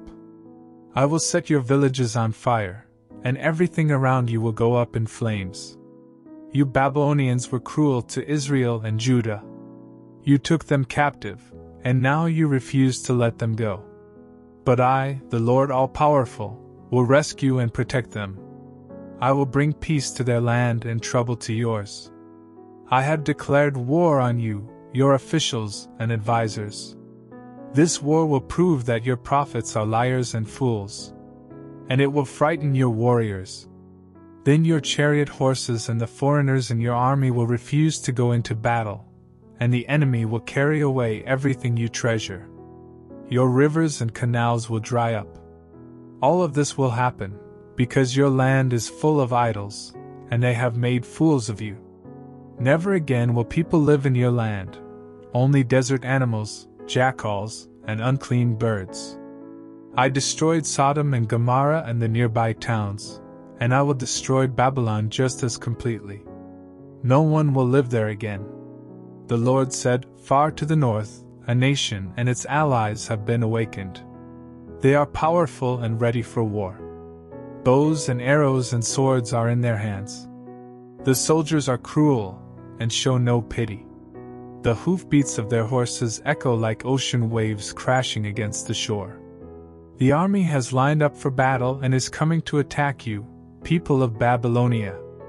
Ever since your king heard about this army, he has been weak with fear. He twists and turns in pain like a woman giving birth. Babylonia, I will attack you like a lion from the forest, attacking sheep in a meadow along the Jordan. In a moment the flock runs, and the land is empty. Who will I choose to attack you? I will do it myself.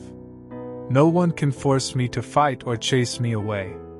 Listen to my plans for you, people of Babylonia. Your children will be dragged off, and your country destroyed. The sounds of your destruction will be heard among the nations, and the earth will shake. I, the Lord, am sending a wind to destroy the people of Babylonia and Babylon, its capital. Foreign soldiers will come from every direction, and when the disaster is over, Babylonia will be empty and worthless. I will tell these soldiers Attack quickly, before the Babylonians can string their bows or put on their armor kill their best soldiers, and destroy their army. Their troops will fall wounded in the streets of Babylon. Everyone in Israel and Judah is guilty. But I, the Lord All Powerful, their holy God, have not abandoned them. Get out of Babylon. Run for your lives. If you stay, you will be killed when I take revenge on the city and punish it for its sins. Babylon was my golden cup, filled with the wine of my anger. The nations of the world got drunk on this wine and went insane. But suddenly, Babylon will fall and be destroyed. I, the Lord, told the foreigners who lived there Weep for the city. Get medicine for its wounds, maybe they will heal. The foreigners answered, We have already tried to treat Babylon's wounds, but they would not heal. Come on, let's all go home to our own countries. Nothing is left in Babylonia, everything is destroyed. The people of Israel said, Tell everyone in Zion. The Lord has taken revenge for what Babylon did to us. I, the Lord, want Babylon destroyed, because its army destroyed my temple. So, you kings of Media, sharpen your arrows and pick up your shields. Raise the signal flag and attack the city walls. Post more guards. Have soldiers watch the city and set up ambushes. I have made plans to destroy Babylon, and nothing will stop me. People of Babylon, you live along the Euphrates River and are surrounded by canals. You are rich, but now the time has come for you to die. I, the Lord All Powerful, swear by my own life that enemy soldiers will fill your streets like a swarm of locusts. They will shout and celebrate their victory. Jeremiah God used his wisdom and power to create the earth and spread out the heavens. The waters in the heavens roar at his command. He makes clouds appear. He sends the wind from his storehouse and makes lightning flash in the rain. People who make idols are stupid. They will be disappointed, because their false gods cannot breathe. Idols are merely a joke, and when the time is right, they will be destroyed. But the Lord, Israel's God, is all powerful. He created everything, and He chose Israel to be His very own. The Lord said, Babylonia, you were my hammer. I used you to pound nations and break kingdoms, to shatter cavalry and chariots, as well as men and women, young and old, shepherds and their flocks, farmers and their oxen, and governors and leaders. But now my people will watch, while I repay you for what you did to Zion. You destroyed the nations and seemed strong as a mountain, but I am your enemy. I might even grab you and roll you off a cliff. When I am finished, you'll only be a pile of scorched bricks. Your stone blocks won't be reused for cornerstones or foundations, and I promise that forever you will be a desert. I, the Lord, have spoken. The Lord said, Signal the nations to get ready to attack raise a flag and blow a trumpet. Send for the armies of Ararat, Minni, and Ashkenaz. Choose a commander. Let the cavalry attack like a swarm of locusts. Tell the kings and governors, the leaders and the people of the kingdoms of the Medes to prepare for war. The earth twists and turns in torment, because I have decided to make Babylonia a desert where no one can live, and I won't change my mind. The Babylonian soldiers have lost their strength and courage. They stay in their fortresses, unable to fight, while the enemy breaks through the city gates, then sets their homes on fire. One messenger after another announces to the king Babylon has been captured. The enemy now controls the river crossings. The marshes are on fire. Your army has panicked. I am the Lord All Powerful, the God of Israel and I make this promise. Soon Babylon will be leveled and packed down like a threshing place at harvest time. The people of Jerusalem say, King Nebuchadnezzar made us panic. That monster stuffed himself with us and our treasures, leaving us empty. He gobbled up what he wanted and spit out the rest. The people of Babylonia harmed some of us and killed others. Now, Lord, make them pay. My people, I am on your side, and I will take revenge on Babylon. I will cut off its water supply, and its stream will dry up. Babylon will be a pile of rubble where only jackals live, and everyone will be afraid to walk among the ruins.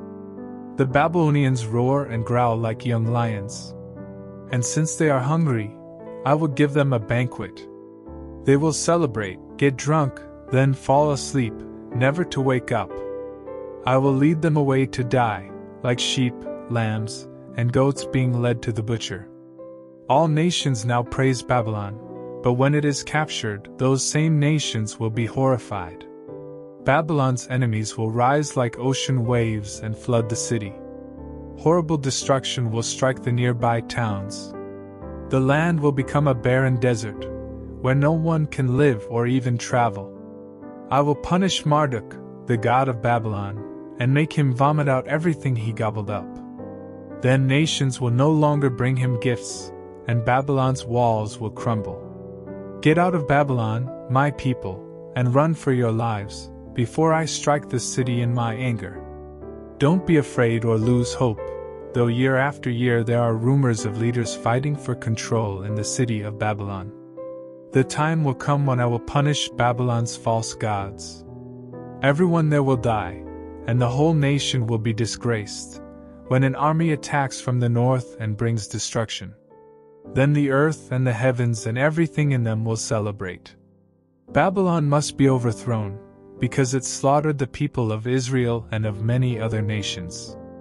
My people, you escaped death when Jerusalem fell.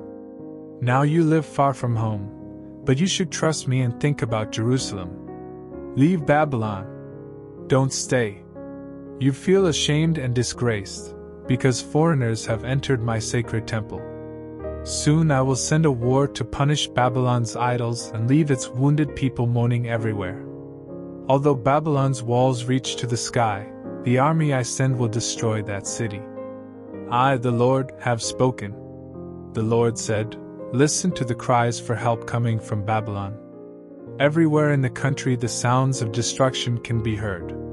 The shouts of the enemy, like crashing ocean waves, will drown out Babylon's cries as I level the city. An enemy will attack and destroy Babylon. Its soldiers will be captured and their weapons broken, because I am a God who takes revenge against nations for what they do.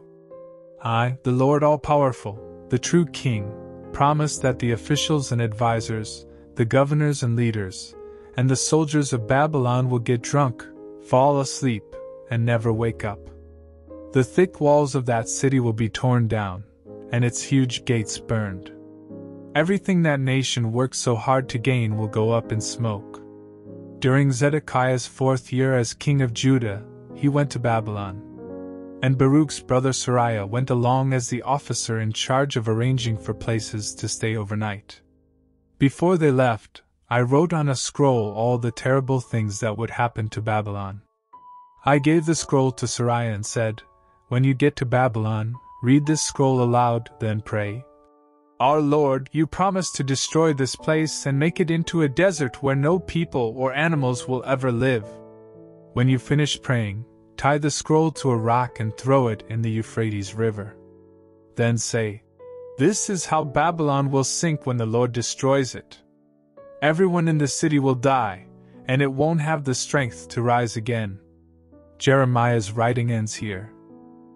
Zedekiah was 21 years old when he was appointed king of Judah, and he ruled from Jerusalem for 11 years.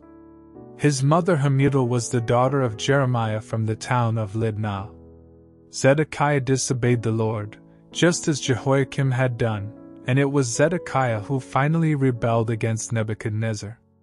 The people of Judah and Jerusalem had made the Lord so angry that he finally turned his back on them. That's why horrible things were happening there. In Zedekiah's ninth year as king, on the tenth day of the tenth month, King Nebuchadnezzar of Babylonia led his entire army to attack Jerusalem. The troops set up camp outside the city and built ramps up to the city walls. After a year and a half, all the food in Jerusalem was gone. Then on the ninth day of the fourth month, the Babylonian troops broke through the city wall. That same night, Zedekiah and his soldiers tried to escape through the gate near the royal garden, even though they knew the enemy had the city surrounded. They headed toward the Jordan River Valley, but the Babylonian troops caught up with them near Jericho. The Babylonians arrested Zedekiah, but his soldiers scattered in every direction. Zedekiah was taken to Riblah in the land of Hamath, where Nebuchadnezzar put him on trial and found him guilty. Zedekiah's sons and the officials of Judah were killed while he watched, then his eyes were poked out. He was put in chains, then dragged off to Babylon and kept in prison until he died. Jerusalem was captured during Nebuchadnezzar's 19th year as king of Babylonia. About a month later, Nebuchadnezzar's officer in charge of the guards arrived in Jerusalem. His name was Nebuzaradan, and he burned down the Lord's temple, the king's palace, and every important building in the city, as well as all the houses. Then he ordered the Babylonian soldiers to break down the walls around Jerusalem. He led away the people left in the city, including everyone who had become loyal to Nebuchadnezzar, the rest of the skilled workers, and even some of the poor people of Judah. Only the very poorest were left behind to work the vineyards and the fields.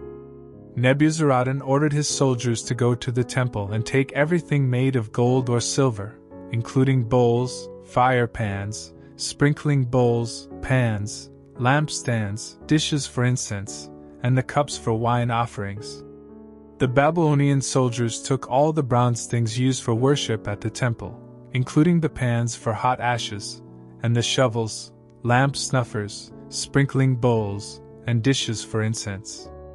The soldiers also took everything else made of bronze, including the two columns that stood in front of the temple, the large bowl called the sea, the twelve bulls that held it up, and the movable stands. The soldiers broke these things into pieces so they could take them to Babylonia. There was so much bronze that it could not be weighed. For example, the columns were about meters high and meters around. They were hollow, but the bronze was about millimeters thick. Each column had a bronze cap over meters high that was decorated with bronze designs. Some of these designs were like chains and others were like pomegranates. There were pomegranates evenly spaced around each column, and a total of pomegranates were located above the chains. Next, Nebuzaradan arrested Seraiah the chief priest, Zephaniah his assistant, and three temple officials.